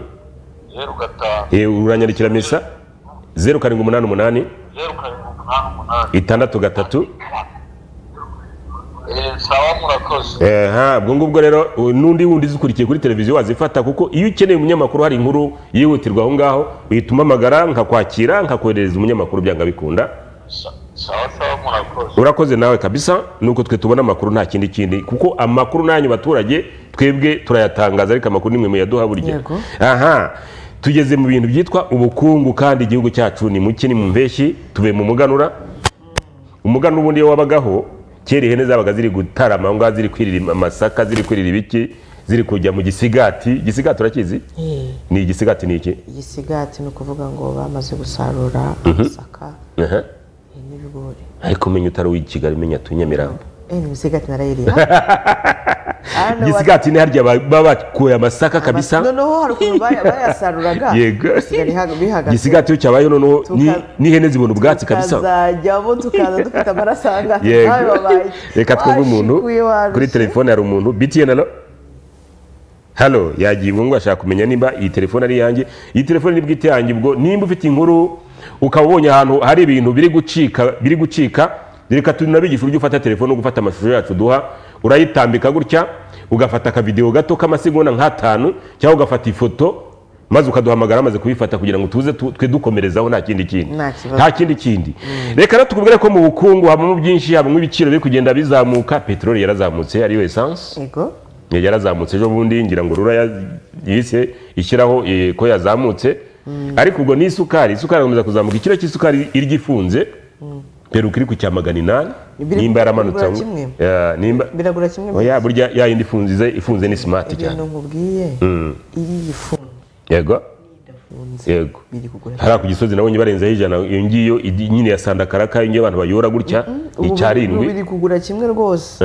Narabajije mukore arambwira ati ninguha ifunze. Ni icy'umunani. Yego. ninguha no kuri detaye ni icy'umunani. Hari umufuka rero w'umuceri witwa kinyoni. Kinyoni kuri mirongo itatu na bitanu hano mu mujyi hagati. Ibiro bingahe? Ibiro 25 Okay. kinyoni. Hari umuceri witwa basomati. Basomati bari bashyizeho puwe bavuga ati basomati ikorerwa mu rwanda. Bashyiraho n'ibiciro. Ariko ibiciro ati bazomati yo ni gatiki hari ikintu cyitwa sarisa sarisa iri kuri magana ane. Eh. ariko iyo urangura waguze agakarito karimo ijana. Ubwo uba uyifashe kuri magana atatu na mirongo itanu na mirongo itanu. ariko wajya ku muhanjuzi wajya kuri wa muzunguzayi abagomba- aba agomba kungukaho amafaranga senkani kuri piyesi imwe. Kandi nawe si uwo wakubujije ngo ugire ngo uh, ntaba yakubujije kuba wowe wajya kugura ka kandi Yego. ubushobozi bwawe bukeya ni ho nawe yungukira. Hari inama nsigaye ngira abaturage burya niba muturanye uretse ko abantu baturanye bakunda kwangana. Sinzi impamvu kandi umuturanyi burya ni inshuti y'agahato burya umuturanyi ni inshuti y'agahato nuturana n'umuntu burya ni kimwe niyo ukorana n'umuntu. Kuko unicara na tifa ntegetswe utegetswe. eh, Eh, utegetswe kunkunda. uyu munsi noneho ngo twambaye n'ibintu bisa. Yego. Waba unkunda waba utankunda utegetswe kunkunda. Turi mu kiganiro aha ngaha. Nyuma y'ikiganiro ukambwira ati hare we fumbafu. Ibyo rero niko bigomba kumera n'ubundi iyo abantu bakundana bakorana bagira umujyi umwe barajyanisha barajyana barajyana. Ni ukuvuga rero ngo ikibazo cyitwa ibintu biri guhenda biri guhenda ubu ngubu nimba ufite amafaranga ubu ngubu ushatse wagura ibishyimbo ngo ukabibika. Kuko mu kwa cyenda batangiye gutera imbuto ibishyimbo bishobora kuzasubira ku giciro cyabyo kuri ibihumbi bibiri cyangwa bibiri magana atanu. Gusa icyizere kiriho ni uko imvura nigwa ubu abantu bose bamaze kumenya ikintu bazakora. Yego. Yaba ari abahinzi yaba ari n'abatari abahinzi. Uribuka covid igihe yazaga yaje dutunguye yakubita mu kwa gatatu muri makumyabiri makumyabiri. Byageze muri mu- kwezi kwa cyenda mu kwezi kwa cumi bose barize gusevinga amafaranga barize kurya mu gihe biri ngombwa barize barize. Hari ubwenge abantu bakuyemo. N'ubu rero izamuka ry'ibiciro ryabayeho eh, ku isi cyane cyane natwe mu bihugu biri mu nzira y'amajyambere n'iterambere ryacu rikiri hasi. Ndakeka umunsi imvura yaguye.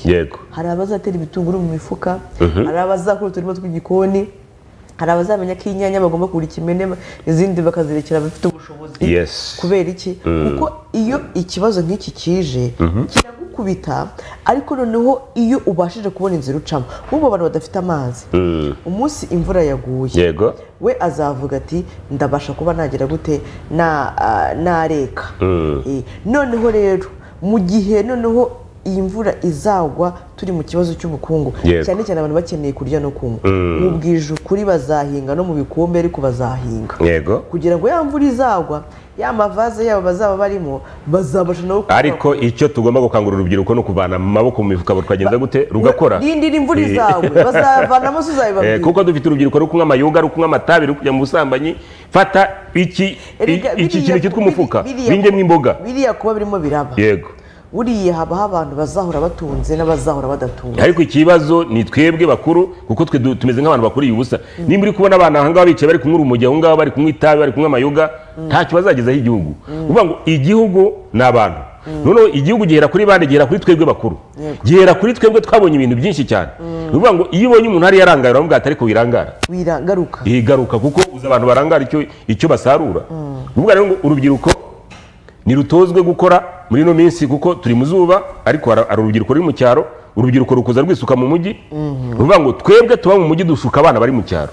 Ukuntu nambaye ishati y'umukara n'ipantaro nziza gutya wenda ashobora kuba naburaye ariko abanyamujyi tugira akacu yego. Eh, nkigira Mu umuntu eh, eh, nkimera sinjye ariko nkaza gutambuka mu nzira nsa neza. Ni- niyo ntuza niryo banga ry'abanyamujyi ariko umuntu tungana wo mu cyaro afite ihene afite inka afite urutoki afite ikawa yarabyaye agiye gukingiza ariko abanyamujyi ni bamaringaringa yanasaguriye amasoko. Imaringaringa araza kuza najya iwabo ngo ati ngo agiye gutira ikibanza ngo kiba cyita ikibanza Eh, telefone ngo bayita ikibanza kuko nimba telefone igura magana abiri na mirongo ingahe wowe ukayigena mu mufuka uri kugendana ikibanza ikibanza. Agera iwabo ugatangira ashuke abana b'abakobwa nibamubona ati dore umuntu w'umunyamujyi ni kamugi agende nagera mu cyaro nimba ari umukobwa ari umukozi wo mu rugo ashuke abandi ba- ahubwo abazana i kigali ngo ni muzi kigali ni sawa. Uhakura iki? Kuba guhemba ibihumbi cumi na bitanu uka- ukagura amavuta ukishyiraho n'aya misatsi? Hari imisatsi bishyira akajya yizunguza gutya nka ba nyirabuja oh Eh, ngo ari kuyizunguza akigira gutya nyine ya misatsi iri gutenda gutya ngo yumva ari hatari. Ariko ni byo uzatahira. Kuko iyo uri umukozi wo mu rugo ujye utekereza ko aha atari iwanyu. Turi mu bukungu. Baguhemba makumyabiri na bitanu cyangwa mirongo itatu aho ngaho tekereza icyo wabikoramo iwanyu. Njye burya ngukoresha umwaka nkabona ntacyo ugeraho ndakwirukana. Niko nteye nimba ndi mubi simbizi. Iyo ngukoresha nkabona nta kintu ugeraho amafaranga uhemba ntacyo kumara ndakwirukana nkazana undi bishobora kugira icyo bimarira. Aho rero ni ho ureba ko bavuga ngo ubukungu bwacu tubufata gute? Ese uru rubyiruko rwo rurumva? Ni ukuvuga ngo nimba uri umukozi wo mu rugo udukurikiye. Baza utekereza ahantu uma- umaze umwaka nimba ari cyo wimariye. Uretse kugura imyenda sinzi niba mujya mwumva wa muntu wagiye i bugande n'agatara ku manywa Nyaru- nyarukamba yari agiye gushaka amafaranga. Ubujegitifu yari agiye gushaka amafaranga gusa. Ariko abantu turaza mu mujyi urabona inkweto nambaye ukuntu isize ndashaka kwambara nka jonata ngiye kuri televiziyo. Ariko iyo ntari kuri televiziyo nambara nk'umuntu utari kuri televiziyo. Iyo ntari kuri televiziyo ni mu mirimo yanjye isanzwe nambara nk'umuturage usanzwe. Iyo nagiye kuri tele nabwo ndi kwigendera kuri tele kwa kundi mashinga bayigi nambara nk'umuturage usanzwe kugira ngo ibyo nshaka mbigereho. Ariko dufite bamaringaringa yirirwa agenda niyo mpamvu inzara igiye kwica abantu mu mujyi wa kigali. Umuntu arabyuka mu gitondo wagiye kubamba babyita kubamba. Ku wa mbere ku wa kabiri ku wa gatatu ku wa kane ku wa gatanu ku isabato ku cyumweru yirirwa ari rubambanyi gusa. Nta kindi akora? Nta kindi akora. Azatera imbere gute? Ni ukuvuga ngo ubwabyo urica ekonomi y'igihugu. Urica ubukungu bw'igihugu. Noneho niyo uri gitifu w'umurenge noneho ntuha abaturage serivisi ubwabyo uradindiza ubukungu bw'igihugu. Wa muturage wicaye ku murenge. Yagombye kuba ari guhinga yagombye kuba ari gucuruza yagombye kuba ari gufasha igihugu kugira ngo cyinjire mu iterambere ry'ubukungu. Ariko iyo ufashe umuturage akicara ku murenge ntumuhe serivisi nawe uri kudindiza ubukungu bw'igihugu. Iyo ufashe aba bazunguzayi ukabirukana nk'uko twabonye eh, na- nabonye ubwino ngo hari umuntu washatse kwirukana ngo ari isoko ry'umuntu ukomeye nimba ari kimisagara.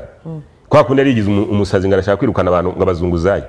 Agezemo umuntu wabaye mu ifosi aramubwira ngo gesa ubwino. Waretoka.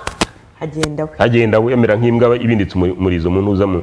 Aho rero ni ho ureba hari abantu ah, bakumira ubukungu bw'igihugu ntibugere ku banyarwanda bose bakarya ibyiza by'igihugu bonyine. Yego. Kandi bakabiryohamo. Bakarya ibyiza by'igihugu umuntu yubatse isoko wenda runaka iyo nabonaga kuri televiziyo y'igihugu ni ku cyumweru nza mu kiganiro aha ngaha hari nyina wa gaga hari undi muntu visi meya w'umujyi wa kigali akavuga ati twebwe dufata ah, abazunguzayi tukabavana aha ngaha tukabageza aha ngaha.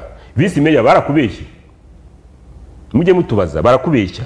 Aba bantu bafite abantu bo mu miryango yabo ikimenyane. Araza ba bazunguzayi ntibabone amafaranga bagomba guhabwa ahubwo akayaha bene wabo. Bari basanzwe bafite uko babayeho. Wa niyo mpamvu mubona na- n'abazunguzayi mu mujyi wa kigali badacika. Yewe ndaza niba nabonye opportunité yo yo gufasha abazunguzayi. Icyo nkora ndaza gushaka latifa ufite bene wanyu bangahe? Hari n'ababisambaniramo? Uzampa numara kumpa noneho ngo ushyire kuri lisite urumva? Agiye gusambana mu bintu bitari ibye noneho na wa muturage amuha amafaranga byamusambanyije kandi mu bintu agenewe agomba guhabwa. Uko ni ukudindiza iterambere. Nawe rero ugenda ukagarama bakavuga ati mumpe amafaranga ariko ngaramye nawe uri kudindiza iterambere. Hari icyo hari uburyo wagombye kuyabonamo. Uvuga ngo nimba ibintu byemewe uvuga ngo tu- tugiye kureba abakene. Nk'ubu ngubu ku gisozi hari abantu bari kureba abasaza ngo bashaje ngo bagomba guha amazu. Ariko biratangaje aho ubona umuntu uri kugenda rukukura ntabwo akishoboye bamwimye inzu bakayiha umuntu ukishoboye. Kubera cya kimenyane kwa kuronda. Bya bintu abantu ba- bareba bakavuga ngo ngende kubiresha amaso. Urimo uradindiza iterambere ry'ubukungu? Nimba ugiye guha umuntu inzu atagombye kuyihabwa wa wundi washaje ntuyimuhe urimo uradindiza ko wa muntu yagombye gukora ukamuha uburyo bwo gukora ibyo twahereyeho. Wamara kumuha uburyo bwo gukora agateza imbere igihugu. Yamara guteza imbere igihugu abatunze nabo bagatera imbere. Gutyo ikaba umusururu Eh, ariko umuntu aragenda agafata igishanga nawe kubwiye ahangaha agahingamo urubingo urubingo mu nsisi nta kintu kibamo nta bijumba bibamo. Wagombye guhingamo imigozi y'ibijumba. Mwe murye yo hasi hejuru. Eh, twe tukarya ibijumba inka zikarya ubwatsi. Ariko uraza gushyira isoni ufata igishanga cyose ugenda uhingemo urubingo hari ubwo uri kudindiza ubukungu bw'igihugu? Aho rero niba ureba rimwe na rimwe ugasanga ah, bamwe mu bategetsi dufite badindiza ubukungu bw'igihugu mu buryo ba- bazi bagambiriye cyangwa batazi. Akenshi bashobora kuba ba- bon hari ababizi yes. ariko tugaruke no ku batabizi nanone hari ibintu abantu birengagiza. Iyo turi mu bukungu buriya bakabaye banigira ku bijyanye n'ibihugu bidusura ndetse w'igihugu. Eh. nimba umukuru w'igihugu avuye ahangaha akajya kureba uburyo ibindi bihugu bibayeho bagasinyana amasezerano. Urazi ko mu bihugu bisinyana amasezerano n'u rwanda harimo n'ibisinya amasezerano ku bijyanye n'ubuhinzi n'ubworozi. Yes. Ibijyanye n'ubuhinzi n'ubworozi cyane cyane ah, nk'ibihugu wenda by'i burayi. Ngo nimba bagizanye amasezerano mu bijyanye n'ubuhinzi n'ubworozi kuko nabo bateye imbere mu buhinzi n'ubworozi twe ntitugire ikintu twigira mu buhinzi n'ubworozi. Yego. ndi kuvuga bariya abayobozi bakuru batagira wenda unyumva nabi ariko abo aba umuntu wa nyuma umugenerwabikorwa wa nyuma wa nyuma. Ntashobora kumva ukuntu igihugu cyateye imbere mu bijyanye n'ubuhinzi n'ubworozi. Cyane yuko abona ko nawe iki cyitwa ubuhinzi n'ubworozi iwabo mu rugo muri karitsiye mu mudugudu mu karere bitaratera imbere. Nyamara mu bisohoka mu gihugu ibyo twohereza hanze y'u rwanda harimo ibirimo mu buhinzi n'ubworozi imiteja iragenda indabo ziragenda inyanya ziragenda insenda zirayoboye ikawa iragenda icyayi kiragenda. Bigenda hanze byose. Ariko ku rundi ruhande urakavuga ati ibyo ni ingengabukungu. Ngandurarugo byagiye he? Ejo bundi waravuze ngo ngandurarugo na yo ngo yabaye ingengabukungu. Ibintu byose byabaye ingengabukungu nimba ufata imiteja ukayipakiza indege ni kandi ingengabukungu. ikagenda neza Eh, isa neza isukuye Yego. urugero rwa hafi. Eh, dr professeur sina gerard. Yego. Urukumva sina gerard. Ibintu byose akora. Byose bijya hanze. Byose nubwo adusagurira twebwe nk'abanyarwanda ariko intumbero ye ni ukujyana mu mahanga. Urusenda ruragenda ji ziragenda isombe iragenda akagwa karagenda eh, umutobe uragenda. Ni ukuvuga ngo byose abijyana hanze. Kandi biriya ni ingandurarugo Ariko byabaye ngengabukungu. urusenda urusenda uru nguru kamurari yimeza muri karitsiye bakavuga nta ni imari iriya. Ati iyi Ya ni ntunakarandure imari ati aka kabisa. ntukarandure izuba rizakica. Byose bigenda hanze. Yego. rero tugomba kwigira no kuri abo ngabo. Yego twese ntabwo twaba abashoramari nka sena gerard. Ariko nawe umuturage hashobora kuba agashoramari gatoya nyine gatoya. Kuko buriya kigana Sena gerard. Arakubwira ati Eh. wowe niba ufite umushinga w'ino. Mfite umutima munini mfite ikibanza kinini mfite ahantu henshi ho gukorera. Yego. Fata iyo mitiba yawe. Mhm. uyitere mu giti. Ndayikugurira. Uyishyire mu giti. Ndakugurira ubu- ndakugurira Ega ubuki dufite ikibazo cy'imyumvire naho ibyo dukora byaba byinshi kuko singapuru yatangiye nk'u rwanda. Dufite byinshi byo gukora dufite ahubwo ikibazo dufite ni abafashamyumvire. Sina yambwiye ngo iyo nkugurishije igitoki ukampa ibihumbi bitatu wagombye kumpa bitanu ukanampa agahimbazamusyi uvuga ko nagiteye kigakura nkagifumbira gutyo na gutyo ah latifa ndabona amasaha baduhaye kuko kwica igihe burya ni igihe burya kwica igihe ni icyaha. reka ngushimire. Urakoze cyane Byawaniyemo reka dushimire rero Jeff niyo nzima ari kubanga rw'ibyuma ndabona byagenze neza amashusho yari ameze neza cyane tugushimire. mwakurikiye ikiganiro kuva gitangiye kuba kigeze ku musozo. Yego. nka morning live dusoreje ahangaha ariko Mhm. ibiganiro bya btn tv birakomeza. Ejo ni kuwa gatatu. Ejo ni kuwa gatatu biramutse bidukundiye twa turi kumwe n'umutumirwa uzaturika ku muvunyi mukuru. Umuvunyi mukuru dushobora kuzaba turi kumwe nawe ahangaha ariko niyo tutaba turi kumwe nawe n'ubundi tuzabana n'abandi. Gahunda rero ifite Eh, yatwemereye kabisa. kuza ni imirimo ikomeze kumubana myinshi Mm. bitewe n'akazi baba bakora ariko kuza ko azaza atari ejo cyangwa ejo bundi. Reka rero ngushimire. Wakoze cyane wakoze. reka rero tubabwire ngo nakagaruka ejo mu gitondo ibiganiro bya biti ni byo birakomeje. Ciao ciao.